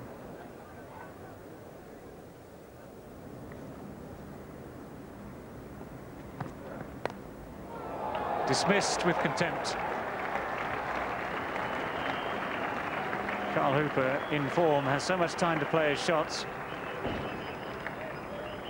And on a pitch like this, that sort of length from Angus Fraser is going to go a long way. It's a partnership between Shivnarine Chanderpaul and Carl Hooper, just taking 81 balls. And uh, Mike Watkinson is about to come into the attack at the pavilion end. Instant response from Carl Hooper. Dragged it from well wide of off stump. Carl Hooper, a murderous player of spinners. And not waiting to take the attack to Mike Watkinson.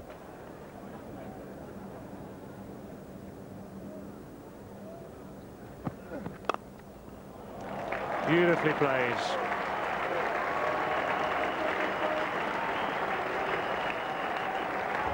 Angus Fraser over pitching. Carl Hooper taking full advantage. And the West Indies moving on past the 500 mark.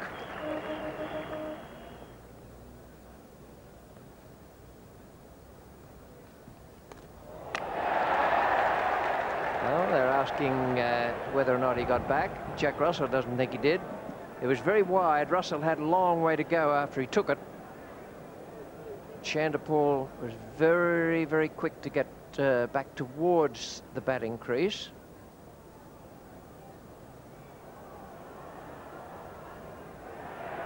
Safe as bungalows. I think it's a dangerous move for the left-hander Chanderpaul to be dancing down the pitch. It's all right for the right-handers, but to Watkinson's bowling around the wicket into that bowler's rough, and the ball could jump and turn as we saw in the previous delivery.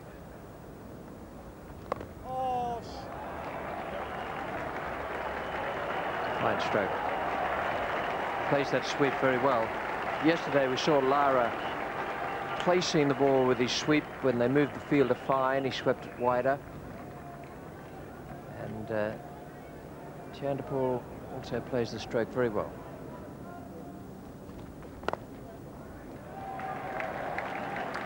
Fifty for Carl Hooper.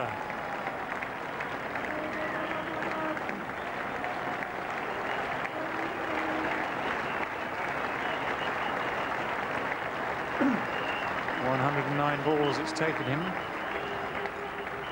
Not without the odd slice of luck.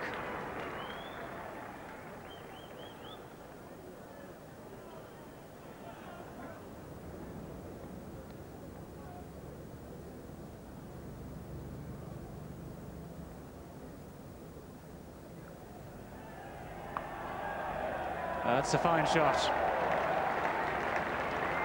Mike Watkinson dropping too short.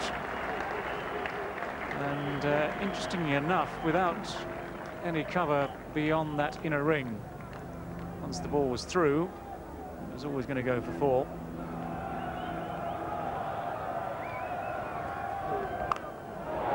That's a fine shot. That's given no one any chance of cutting it off.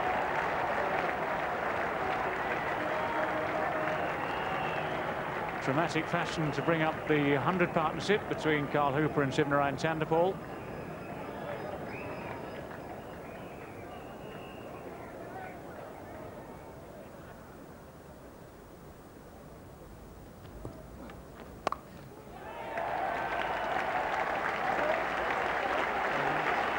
And 50 for Chanderpaul now, following quickly in the footsteps of Carl Hooper.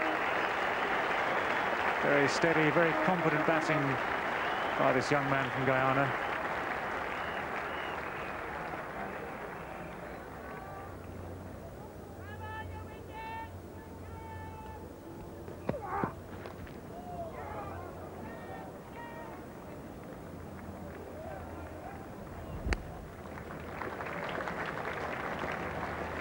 The applause is for the throw, but it's all very composed batting now. 550 comes up, five wickets down.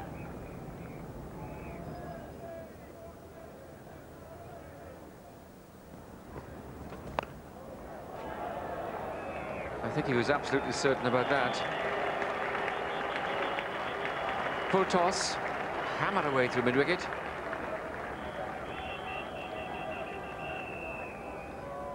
Something of a cross bat here outside off stump.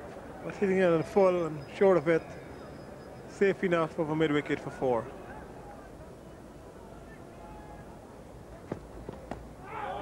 A big shout for LBW. Wow, he says.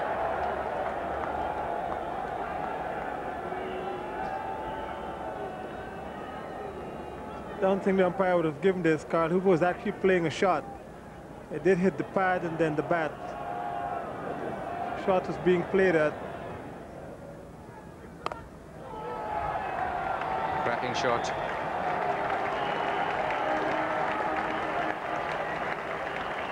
Very physical response from Carl Hooper.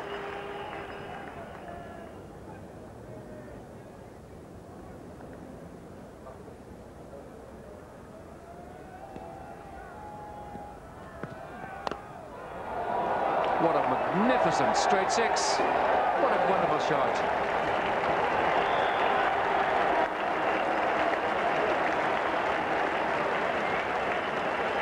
There's so much elegance about it. And yet it was quite brutal.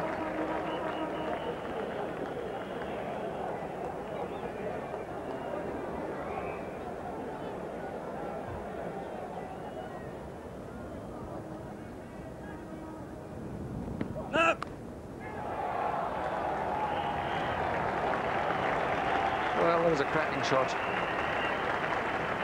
Really plays that well with a quick turn of the wrists. Really middle that.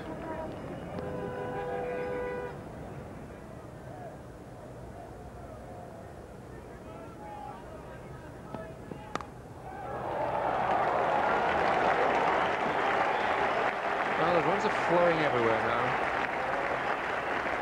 Although Dominic Cork is bowling with a great deal of zest and uh, enthusiasm,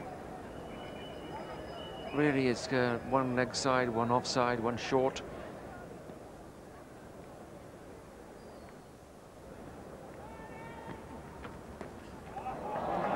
Most delicate shot. Using the pace of the ball.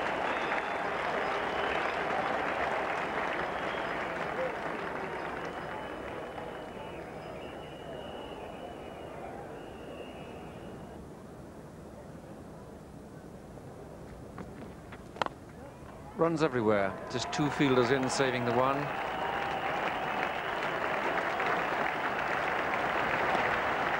And the scoreboard tells its own story. 600 up, Carl Hooper moves on to 95.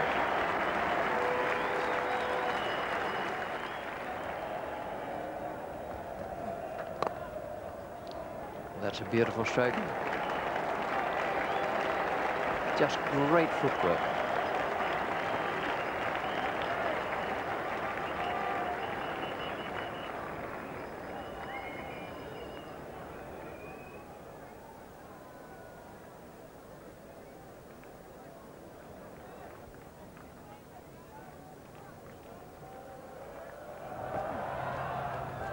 Or a chance of a sweep. Century for Carl Hooper. His fifth in Test match cricket. Made one against India in his second Test. Then he's made two against Pakistan and one previously against England at Lord's.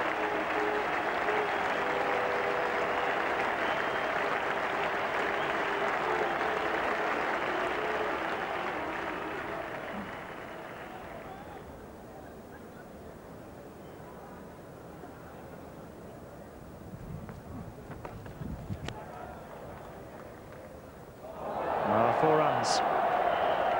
Dominic Cork had to cope with a, slightly awkward bouncing ball. Nonetheless, one would have had to back him to do it.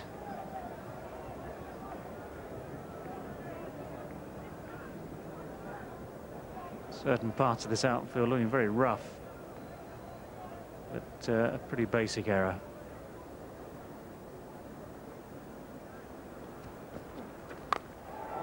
Oh, he's lofted that many, many miles in the air. That's gone a long way back.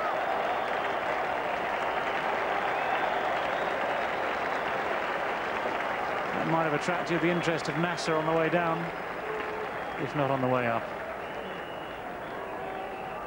Safely re-entered the Oval's atmosphere, this one, but it went a long way up.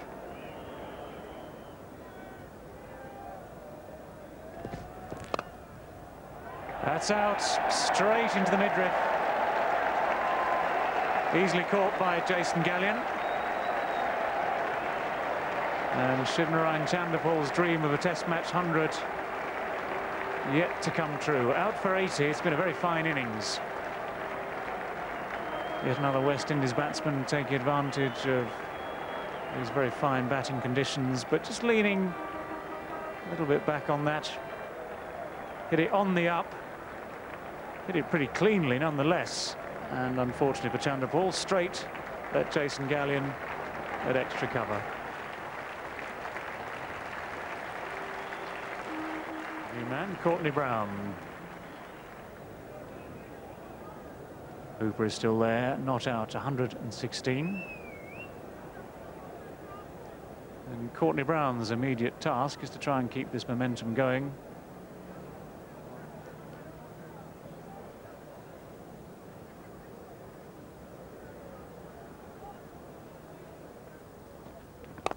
There's another great shot. Straight down the ground.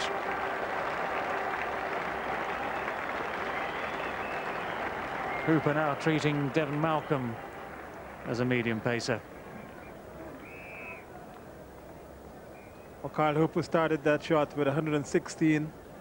That was a half volley just about middle stump. It's highly optimistic considering uh, our current drought conditions.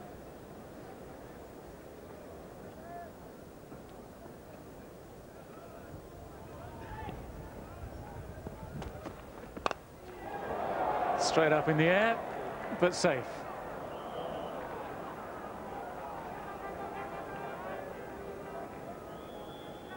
Unlucky, Dev.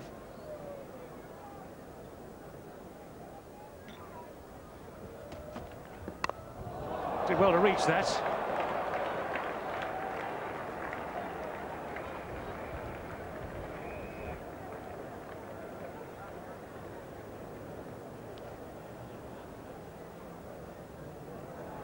Think Carl Hooper here is trying to make sure that the lead is 200 when tea is taken.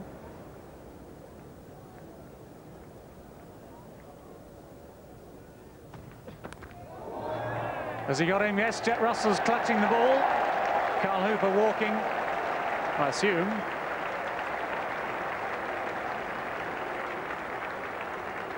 Although Carl Hooper has now uh, stopped himself in his tracks. Umpire Ramaswamy hasn't given him out as such, so uh, if I were Carl Hooper, I'd just stand there, check on the decision. In fact, uh, out of shot, umpire David Shepherd has confirmed the scoreboard that indeed Carl Hooper's innings is over. Caught by Jack Russell off the bowling of Devon Malcolm for 127. That's 126 runs later after Devon Malcolm had put down a very simple caught and bowl chance last night. And it's been wonderful entertainment. Carl Hooper at his best. He's played some glorious shots. Some wonderful striking of a cricket ball. Here's another look from behind the bowler's arm clear edge and a very good catch from Jack Russell. Just carrying through to him. No, should have been no real doubt, doubt about that.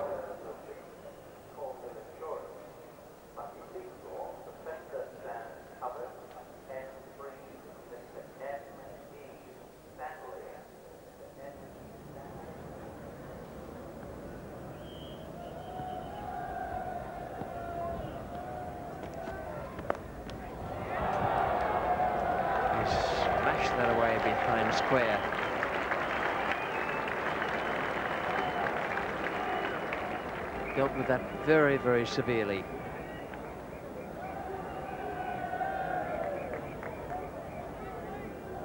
Well, I did say I thought all the tail enders will have a go at anything short.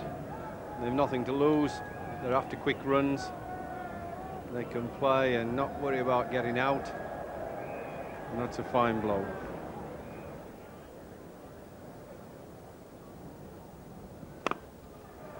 That's a good shot every so often Dominic Cork would drift onto the uh, batsman's pads and uh, these West Indian players are very, very strong there.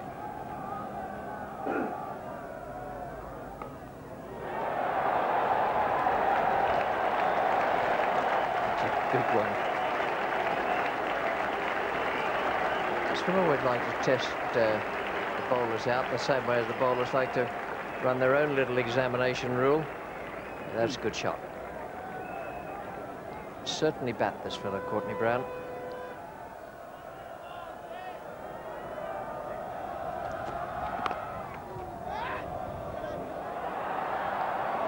Would have been gone for all money had it hit.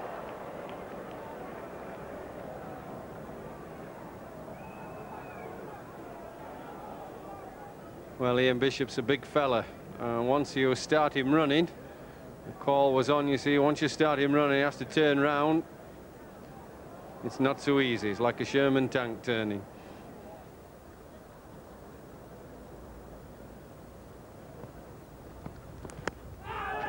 That's a big shout there. And this could be a run out, and it's an easy run out.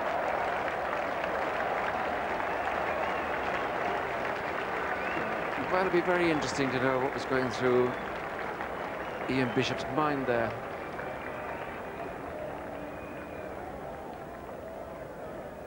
Now then, Geoffrey, how did you read that? Well, he nearly got run out the previous over, and he just whacks at this, so they have been doing in the last half an hour. They've been whacking at everything. He sees it run away, and he just sets off.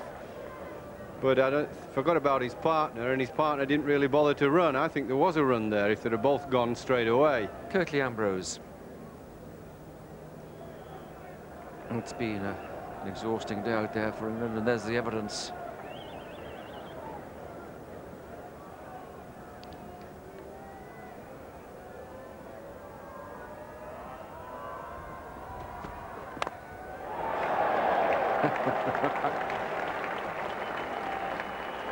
no touch of the Sunday school outing about that.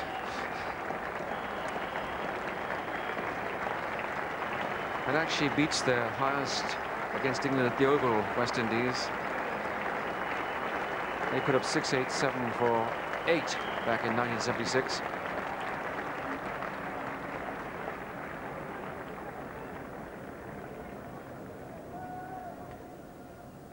Three more runs added to take the West Indies declaration score along to 692 for 8. That was a great performance. They didn't just grind their way there. They thrashed England yesterday, kept it up today. The run rate was magnificent and uh, spectators and television viewers were treated to a feast of batting, some glorious strokes. Lara yesterday 179. Today, Richardson out for 93 fairly quickly. Then that splendid partnership between Hooper and Chanderpaul. Hooper 127, Chanderpaul 80 needs to be kept in perspective because uh, England weren't setting attacking fields. They were also looking for the declaration, but uh, it was a very, very good piece of batting from those two. And then Courtney Browne, a bit of time for Courtney Browne as a cricketer, and uh, I thought he batted well out there today for 27, and Bishop was run out for 10. 32 extras, and the partnerships, magnificent. Yesterday, Lara Richardson, and uh, today, Hooper Chanderpaul, 196, and then two little partnerships at the end, 22 and 33. Well, you wouldn't expect the bowling figures uh, to be anything to write home about, nor are they. Malcolm, three wickets, bowled well at times and um, in a bit of disarray at others. Fraser, one for 155, and Cork, three for 145, and the other three, Watkinson, Gallian, and Hick, failed to take a wicket. That's the way it looked at the end of the West Indies innings. England 238 runs behind. And we join the England innings now in the first over. It's the third ball. Courtney Walsh is the bowler. Jason Gallian taking strike.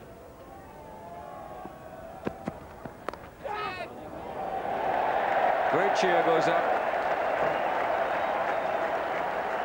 And the young man is off the mark. First hurdle. Well, there was a half shout here of catch. Bounced and landed well wide of the man of third slip.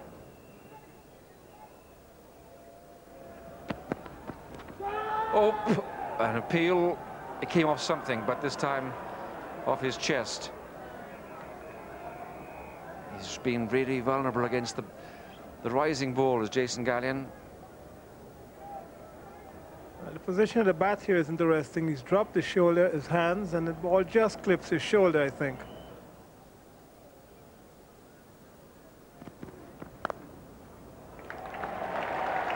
That's four runs. Come to expect that sort of stroke from Michael Atherton. Right on top of the bounce. A straight bat, but the ball angled out square on the offside. And the skipper's off the mark.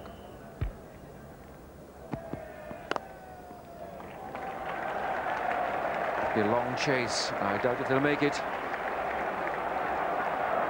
And suddenly the ball slows up, but uh, not that slow. Just a firm push to mid-on. There was no one fielding there.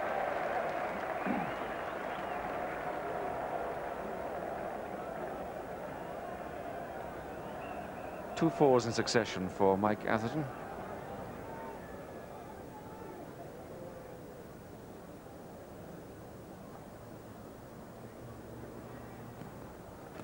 That's well bowled.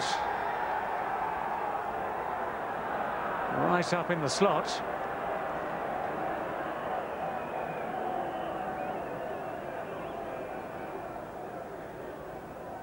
Well, in the first innings, Courtney Walsh did have a loud shout against Jason Gallian also.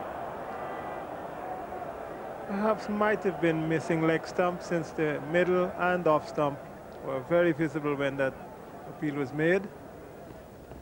That's going to race away for four.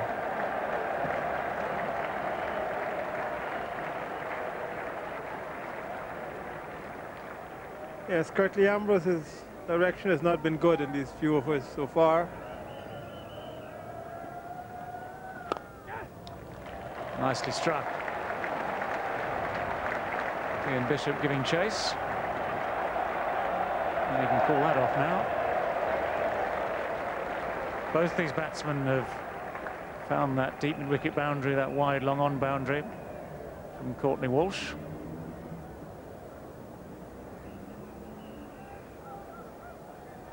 Nice juicy full toss just on the pads, just using the pace of the ball to just guide it through the spaces.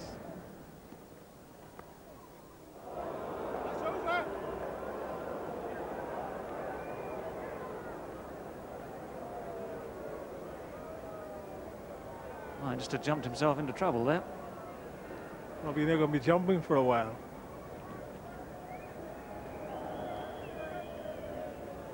There's a, a ray of something bright.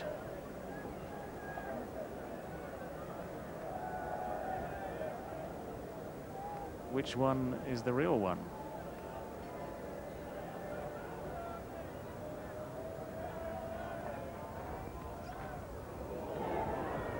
Beautifully bowled.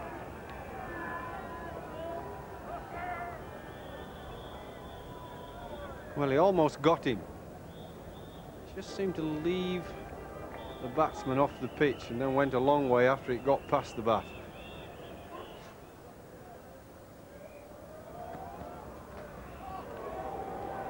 He's passed him on either side of the bat now, one with a very good leg cutter, and the other one which looked from here as though it came back between bat and pad. No, still on the outside, but very game leave there.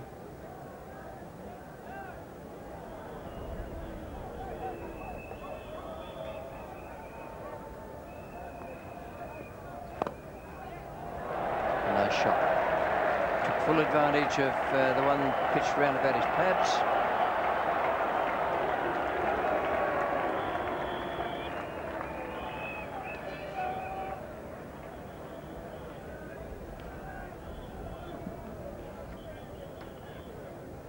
The end of uh, Bishop's over. Neatly played away by Gallian. Three more runs added to take England along to 39 for no wicket at the close of the fourth day of this Cornhill Test match. Gallian 22, Atherton 17. Gallian did well. It's no easy task to go out there when you're on a pair and bat with the comfort he did.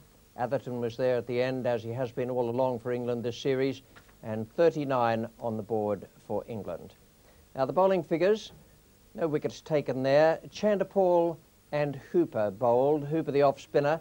Chanderpaul the leg spinner bowled for the first time in the series. Four overs, no maiden, and no wicket for five. And the reason they were brought on was that Richie Richardson realised the umpires would offer the light to the batsman if the quick bowler stayed on. He whipped his spinners on very quickly. One of the strange sights I've ever seen in uh, Test match cricket, or any other cricket for that matter, is that before Chanderpaul started to bowl, he put on a pair of shin pads, which uh, could have all sorts of meanings, I suppose. He may have had an experience with the batsman driving back at him very, very fast. Four overs for five for him. And uh, the state of the match at the conclusion of this fourth day, England having got through to 39 for no wicket, are 199 runs behind. Uh, it's a very good match, has been all the way through, as indeed has been the series. And here's Geoffrey Boycott now with his ideas on the day. Well, another terrific day's cricket with the West Indies batsmen on top. It was the big stand between Hooper and Chanderpaul that put the England bowlers to the sword.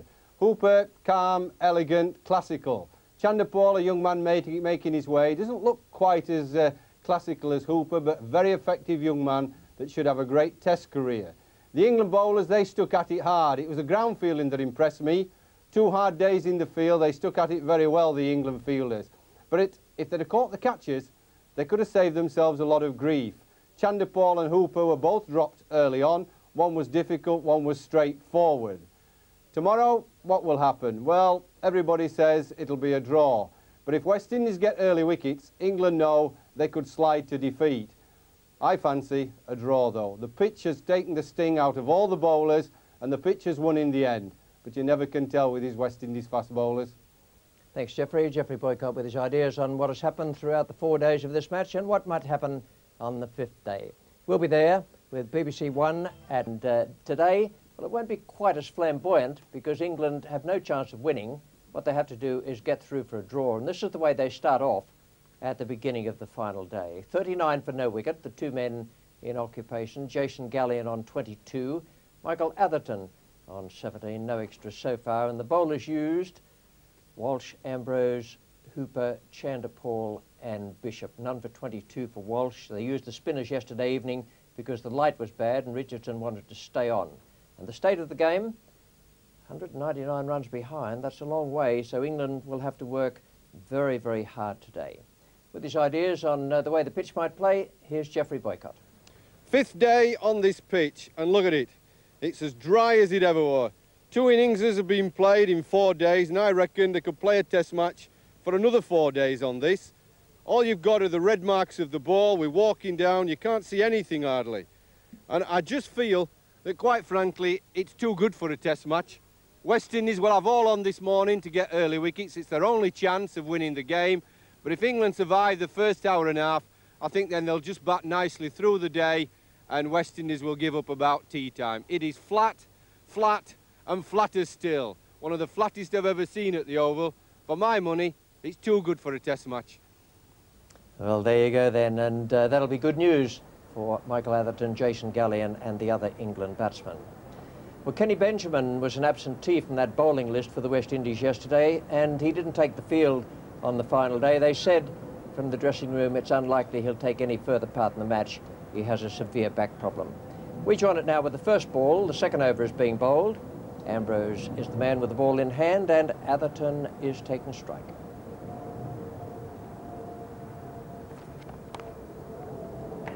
Outside edge, sort of going off the face, no third man, attacking field.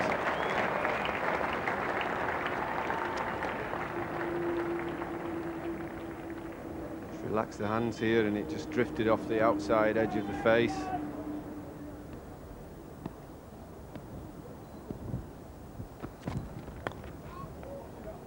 Four runs raced away.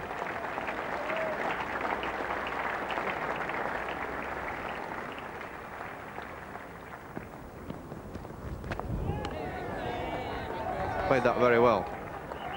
The youngster played well there. If you watch him carefully, really looked at the ball. It snaked back at him. It's a good short delivery. He's one of the two allowed for the over. But he really kept his eye on the ball. That's well played, lad.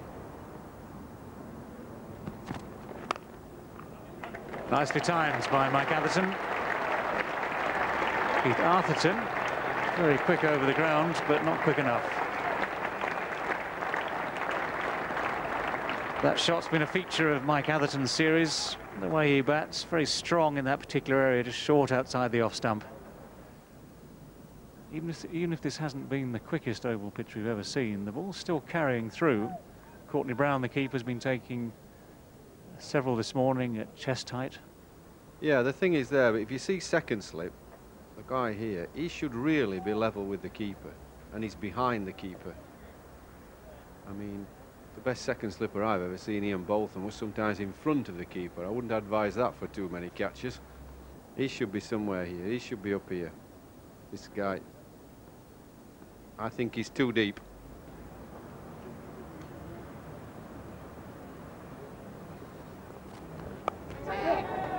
That's very well bowled.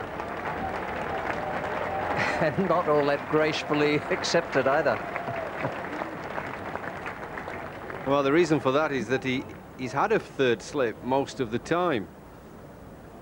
But uh, they moved him around to leg gully that third slip, and this one gets up into the throw, plays it down as best he can, and it went, well, wideish of third slip, but because it looped, third slip would have had a chance of diving for it.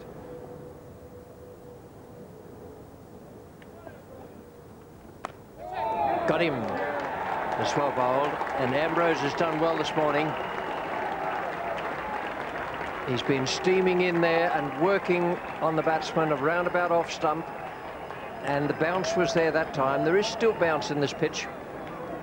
Bowlers need to bend their backs, and that's just what he did. This was a quick ball. If you look at the man at third slip catching this, it hit him as he was coming down for the catch. Just fast, just a little bit of outswing, leg cut perhaps, top edge, and Williams took a very sharp catch.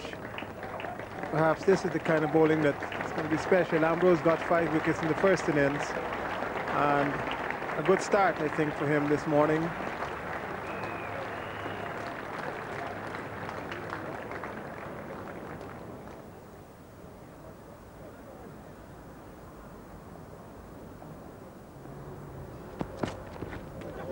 that's a beauty.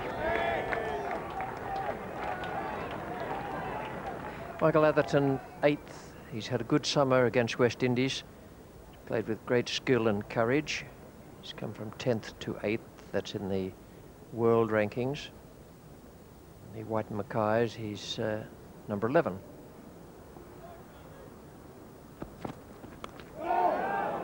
Just short.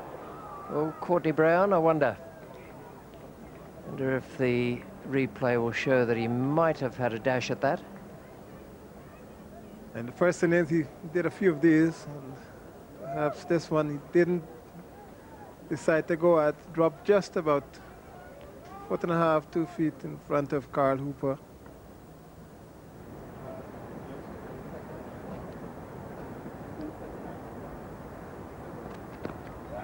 Oh, beautifully bowled, and you must say that Curtly Ambrose has deserved that wicket.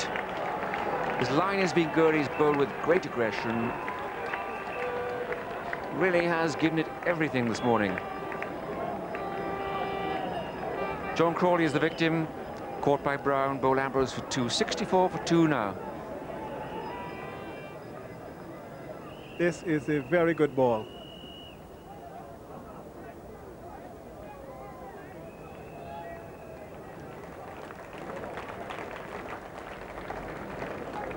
You actually see the sea moving and genuine edge.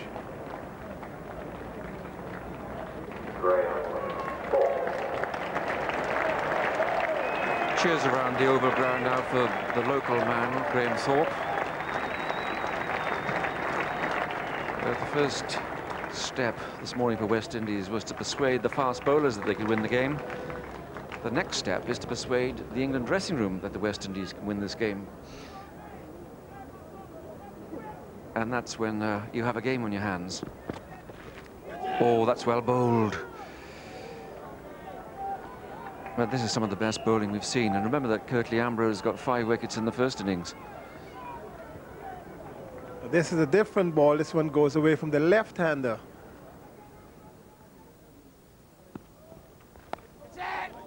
Well, the shout went catch, but the ball went down.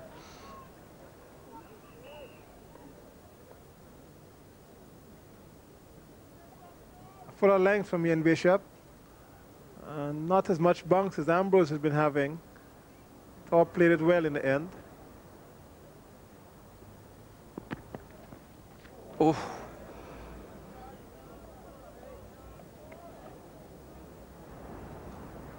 I think he has to ask himself, is this what England really requires of him at the moment? And the answer is most certainly no. Colin Croft has gone off to a quiet corner to contemplate West Indies' victory, which he predicts during the day.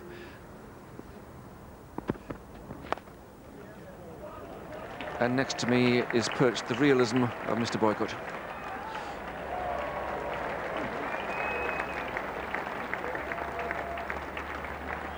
Well, if England lose this test match on this pitch, there'll be a lot of questions they'll be asking themselves and the selectors will be asking the players.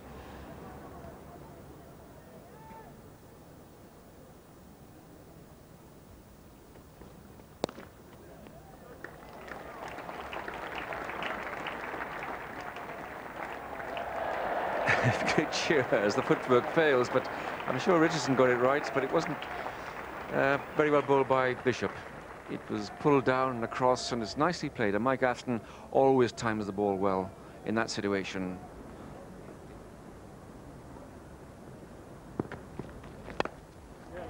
That's an even better shot from Graham Thorpe. Perfectly placed, straight down the ground.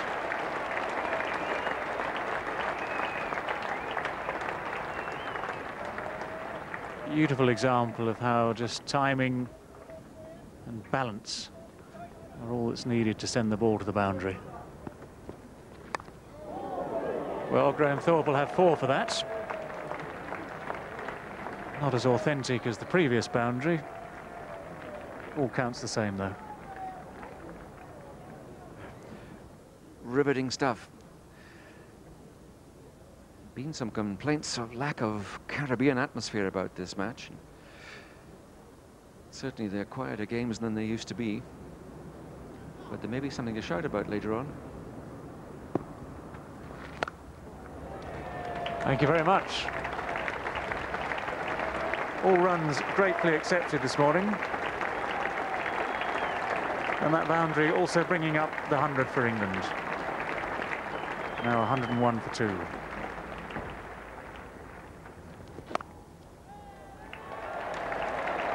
And again too short. Doesn't matter what the situation of the match is or what England's primary objectives are. If Chanderpaul is going to bowl that short, Graham Thorpe is going to continue plundering runs. That's well bowled. Every now and again, Walsh and Ambrose just get a bit of life out of this pitch, enough to surprise the batsman. It's well played by Mike Atherton.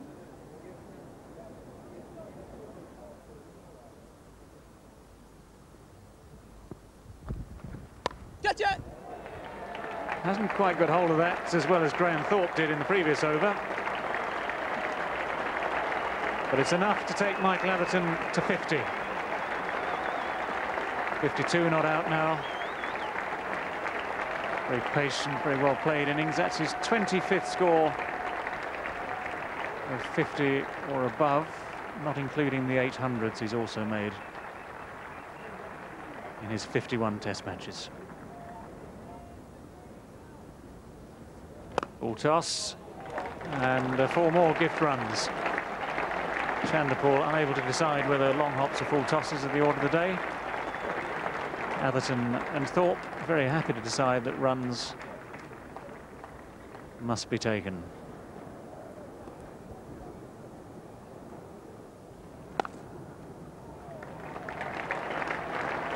One of the great things about Thorpe, he takes full advantage of anything loose.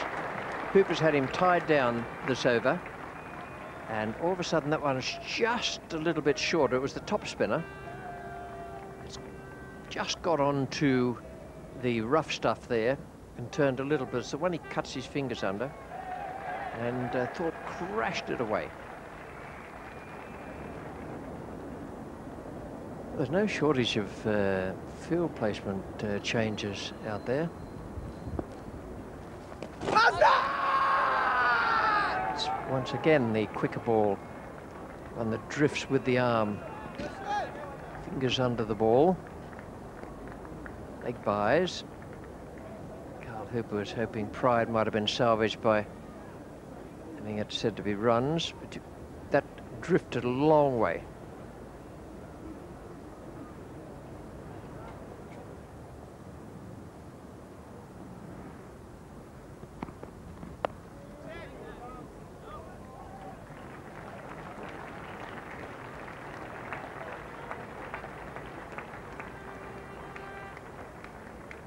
Well played here by Thorpe, just getting his fingers off of it and just dropping in front of the man at gully. But Courtney Walsh's reaction again was very interesting.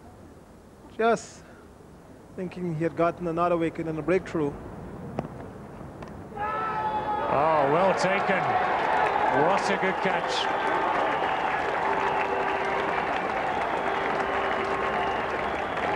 Courtney Walsh has his reward for perseverance. It's the wicket of Graham Thorpe, caught by Stuart Williams, the 38.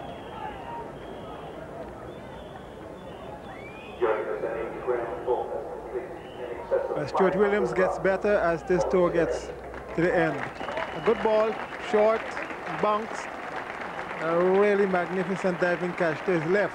He's naturally right-handed. Walsh is very pleased because Graham Thorpe has been a thorn in the West Indies side all this summer, and especially now, excellent wicket to get. And England's third wicket falling, so Graeme Hick on his way out. So England now 132 for three.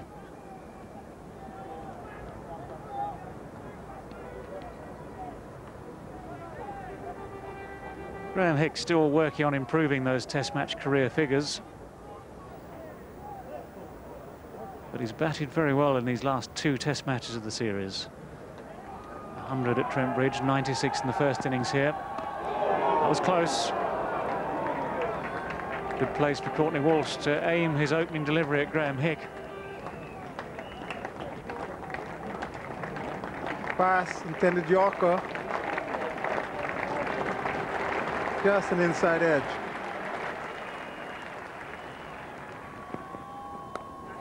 That's going to lob over the slips.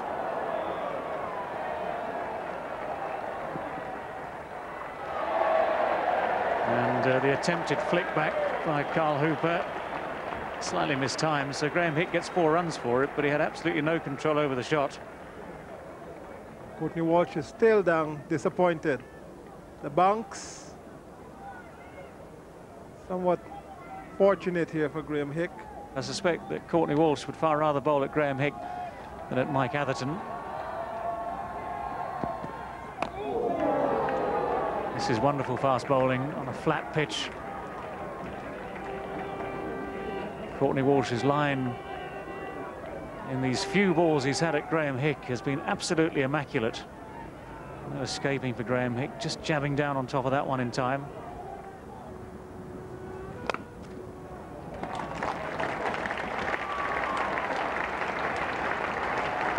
Nicely timed. Yes, it was a very good shot because it was outside off stump, very full delivery, and he worked it to the onside.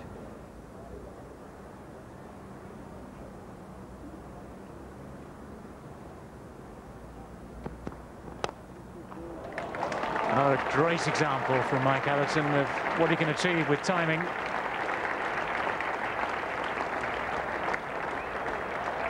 Nothing more than a firm push from the England captain. Full face the bat.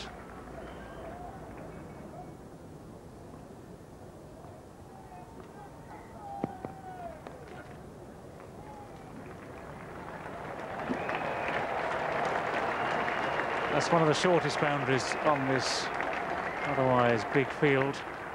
Ian Bishop had no chance of getting around in time. If West Indies could get uh, both these two out by tea time, it's as if Curtly's going to give him a little bit of a going over. Then West Indies would feel they're into Alan Wells and the tail enders.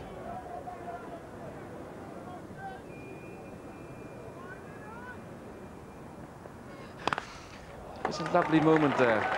And the lovely moment wasn't exactly Graeme Hicks shot at the back foot.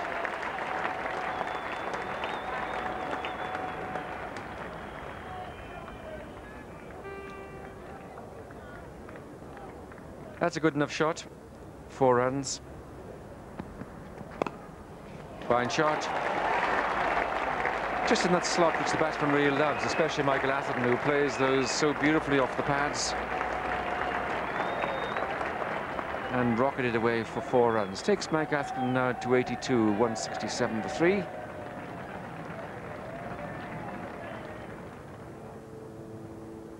This is Courtney Walsh. Well, there's a man out there. But he's not in quite the right spot. I'd hazard a guess there that uh, Graeme Hick read the body language right, that Courtney Walsh wouldn't be very pleased and the ball might be short.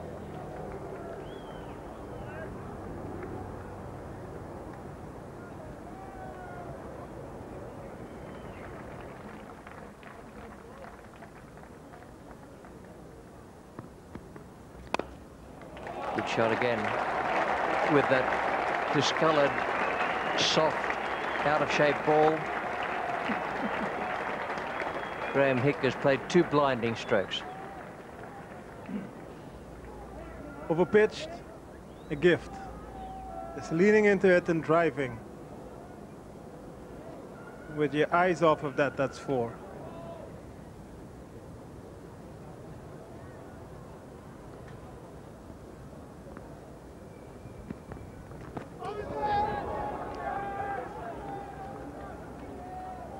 I think uh, that's a nasty blow. Seemed to me it got him perhaps on the elbow. I think he's in trouble there.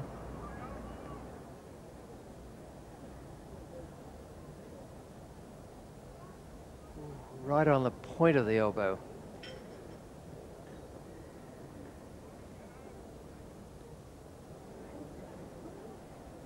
Just up above that arm guard.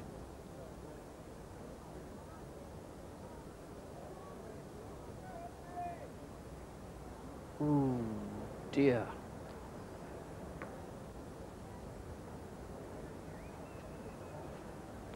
Well, he's mustering uh, half a smile. That's something, but uh, I didn't like the look uh, of the way he was uh, staggering away from the crease. Magic spray fixes anything.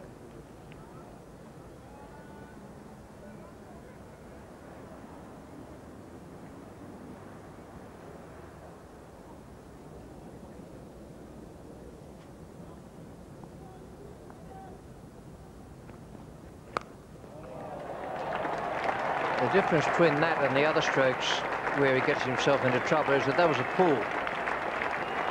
He plays that well. It's the hook shot that gets him into all sorts of bother.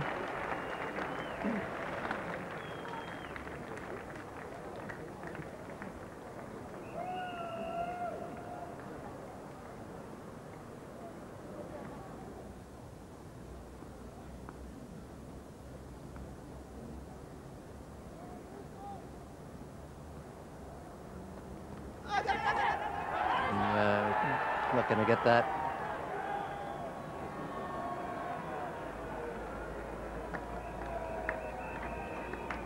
I think Carl Hooper is somewhat convinced that he'd hit this.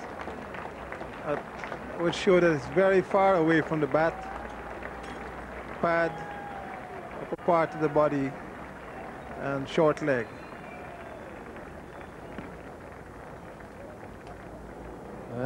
Uh, could have missed the bat by more, but not by much more.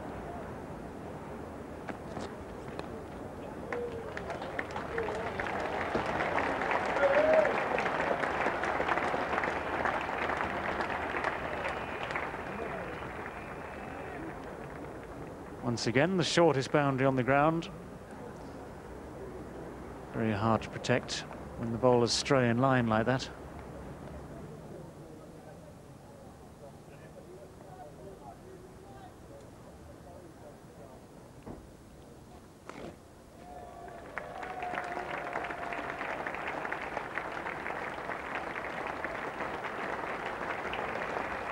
Applause ringing around the ground from those 6,000 spectators for the England 200.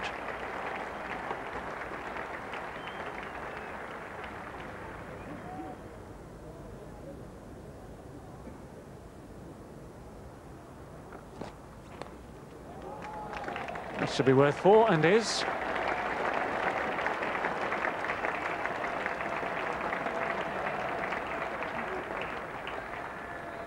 Every four runs like this, just edging England closer to that position where West Indies would have to bat again if for some reason seven wickets were to go down reasonably quickly now. It's not looking very likely.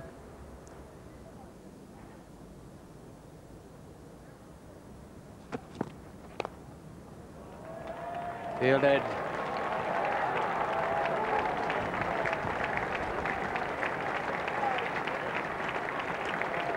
Not sure what the uh, hold-up was there. There was one in it, and it was going away to uh, Atherton's wrong hand. There's definitely one there, but Atherton has hesitated. and uh, then had to come through very quickly.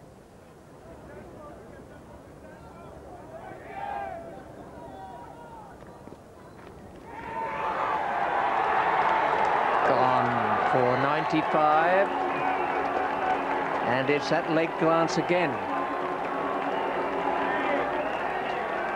Just turning the ball away down the leg side, never getting himself in line with it. It's happened to him a number of times. We were pinpointing it earlier in the day. We were saying that there should be a leg slip in there as well. Courtney Browne has taken a great catch. 95 for Atherton once again. Ian Bishop went wide of the crease, slanted it in, and a very neat catch.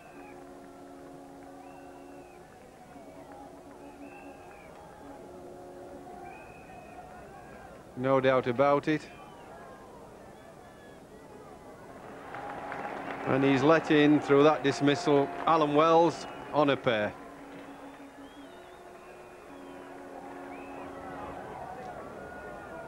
Ian Bishop and uh, Alan Wells.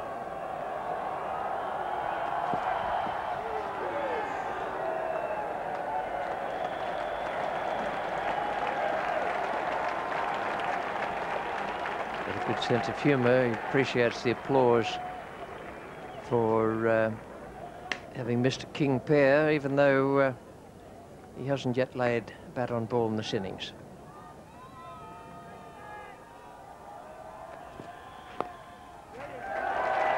Off the mark, and that'll be a great relief for Alan Wells.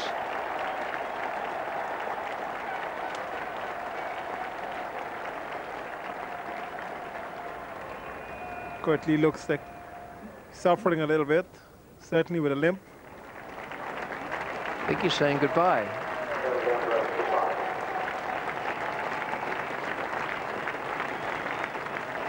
He must reckon it's um, just about over. He reckons uh, his hamstring is gone. And uh, he's done a great job in this match. Bowled really well in the first innings. And he just gave West Indies a bit of a glimmer today.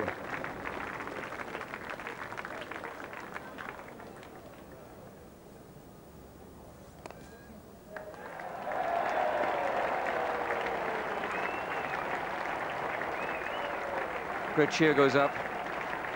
Graeme Hick acknowledges applause for his 50. And it's an interesting point that he's now scored 400 runs in the series the first time in his test career.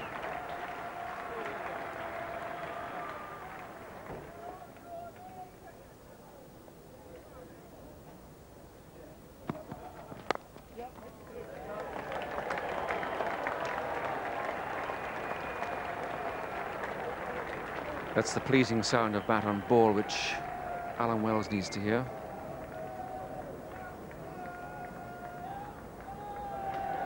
Ah, David Shepherd, superstition abounds here, where you, when you're on 111 or 222 or 333, you're not supposed to have both feet on the ground at the same time. So England's still behind, 222 for four, 51 to Hick. And there goes Hop along, Shepherd.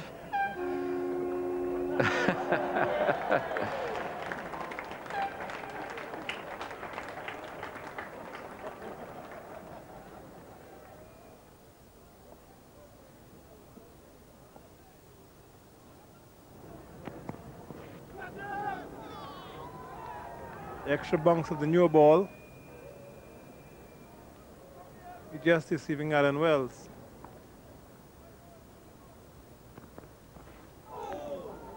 Missed by a whisker. So there's two fine deliveries. Now, umpire Shepherd will uh, just test Courtney Walsh's sense of humour by pointing out to him that he's very close to bowling a no ball. Just one more run added to take the final score for England in their second innings along to 223 for four. There was nothing uh, by way of profit there for Alan Wells. The good thing was that he wasn't dismissed. He made just three. Graeme Hick played very well again after a rather scratchy start, 51. That's a very good all-round uh, double for him. 90 odd in the first innings and 51 not out in the second.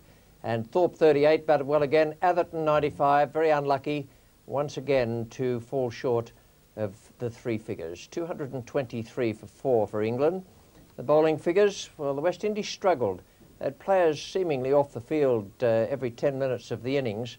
They finished up uh, cracking four wickets, one for Walsh, two for Ambrose. I thought Ambrose was magnificent in this match. He really lifted himself. He was just a little bit weary earlier in the uh, tour, but he did wonderfully well in the first innings, then 19 overs, 8 maidens, and 2 for 35 in the second. Bishop, 22 overs, 4 maidens, 1 for 56. Never really looked happy out there, didn't have his run right, his action, never seemed to be happy with that, and uh, had plenty of problem areas there, Ian Bishop. And the match itself, well, England 454, 223 for 4 in their second innings. West Indies 692 for 8. Everyone will remember that wonderful knock from Brian Lara for 179, long after they recall that the match was drawn. Series drawn 2 all. It's been a wonderful series all the way through. And uh, at the presentations, the man of the match was named as Brian Lara. The England Player of the Series chosen by the West Indies management, Michael Atherton, who had a terrific time as skipper and as opening batsman, and the West Indies Player of the Series, chosen by the chairman of the England Selection Committee, Raymond Illingworth, was Brian Lara. And uh, a little later, David Gower talked with the two captains and with the man of the match. Michael, congratulations on another fighting performance today and on your Player of the Series award. It was a pretty tough battle again, wasn't it, just to finish off this series? Yeah, we were up against it on the last day. The West Indies came in hard this morning. Uh, obviously fancied their chances, but I was pleased with the way we kind of stuck it out. Now, you yourself have had a, a good series again, finishing off on this note. How much does it mean to you to be nominated Player of the Series, as well as having to do all the other jobs, batting, captaining, seeing the lads through it? I was quite surprised, really. It was very nice what Wes Hall said in his uh, statement.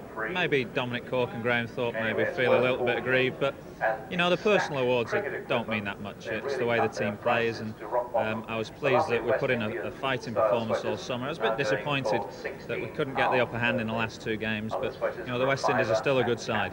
Well, thanks very much. Congratulations on your own efforts and the team's efforts through the summer. Richie, a long tour. It's all but done. You've still got a couple of lesser games to play. How satisfied are you with your team's performance? Well, I must say that um, I'm a little bit disappointed. Uh, I believe that we've got a team that's capable of winning this series. Um, we started out very well, um, but uh, we didn't really bat as well as we probably could have. Um, but in the end, I think um, I'm not all that disappointed. So you're disappointed then that you actually gave those two test matches away, are you? Is that, is that the impression? Well, I don't really like the term, um, you know, giving matches away because um, we don't really do that. You know, we go there and we try our best. Sometimes our best is not good enough, and uh, there are times uh, we didn't play to our full potential. And I think if we played a bit better, we would have won comfortably. Now, these two pitches in the last two matches, they were enough to deaden your pace attack. How have the boys stood up to that? Well, the thing is, all fast bowlers can bowl on anything. I've said it a number of times before. And, you know, in the last test match in, uh, at uh, Trent Bridge, it was flat, it was docile. And um, our bowlers bowl very, very well, you know. And uh, here it was flat as well, and it's still I still bowl pretty well. And um, the thing is, uh, uh, if there's anything at all in the wicket, our fast bowlers are going to make the best of it. Uh, Brian Lara, now he's a man that uh, rather came good in these last three Test matches of the series. How highly do you rate him now? He must be very close to being the best in the world. Well, undoubtedly he has to be the best in the world. He is the best in the world. I mean, it's I'm delighted to be, uh, you know, to be playing with him, to be to be his captain. I mean, whenever I'm out there with him, whenever I watch him bat, um, it's just a delight this Brian Lara as well. Man of the match, player of the series, you name it, virtually everything.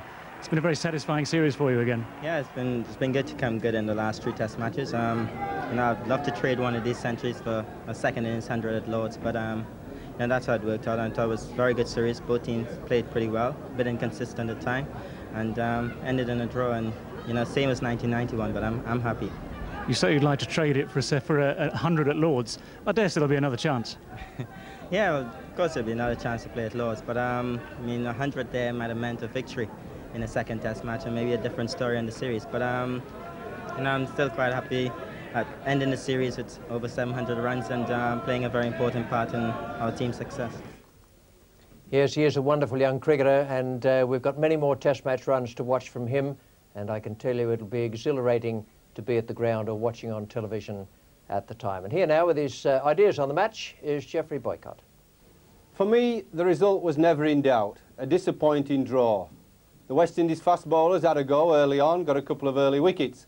But all in all, the batsmen didn't have too much trouble. I thought Michael Atherton played splendidly, calm, unruffled, and it was disappointing really that he didn't get a century. He fully deserved one. Hick played very well, so did Thorpe, but all in all, the pitch won. We came to the Oval, four results in this test series, two evenly matched teams. Everybody was looking for a winner. And what we got was a draw. The pitch was so good that batsmen could have batted here for another four or five days and we wouldn't be sure then that we'd get a result. If the Surrey County Cricket Club are going to make batting pitches that don't seam and are unresponsive to spin, then they're going to have to give the bowlers something. And that means a lot more pace and bounce. If they don't, what we'll find at the Oval on pitches like this is that we will need timeless tests, and nobody wants to go back to those. Thanks, Geoffrey. Geoffrey Boycott with uh, his thoughts on this test series, and I agree with him. It was a very, very fine series of cricket, six Cornhill test matches, and uh, every one of them had something, and there were four victories in that six. Well, that's the end of the test cricket for this summer, but we do have cricket coming up on Saturday. It's the NatWest final, NatWest Trophy final at Lord's, Northamptonshire against Warwickshire. It'll be in Grandstand on the 2nd of September, BBC One at 10.20am. And I can assure you it's with some sadness that I say now goodbye to Test cricket.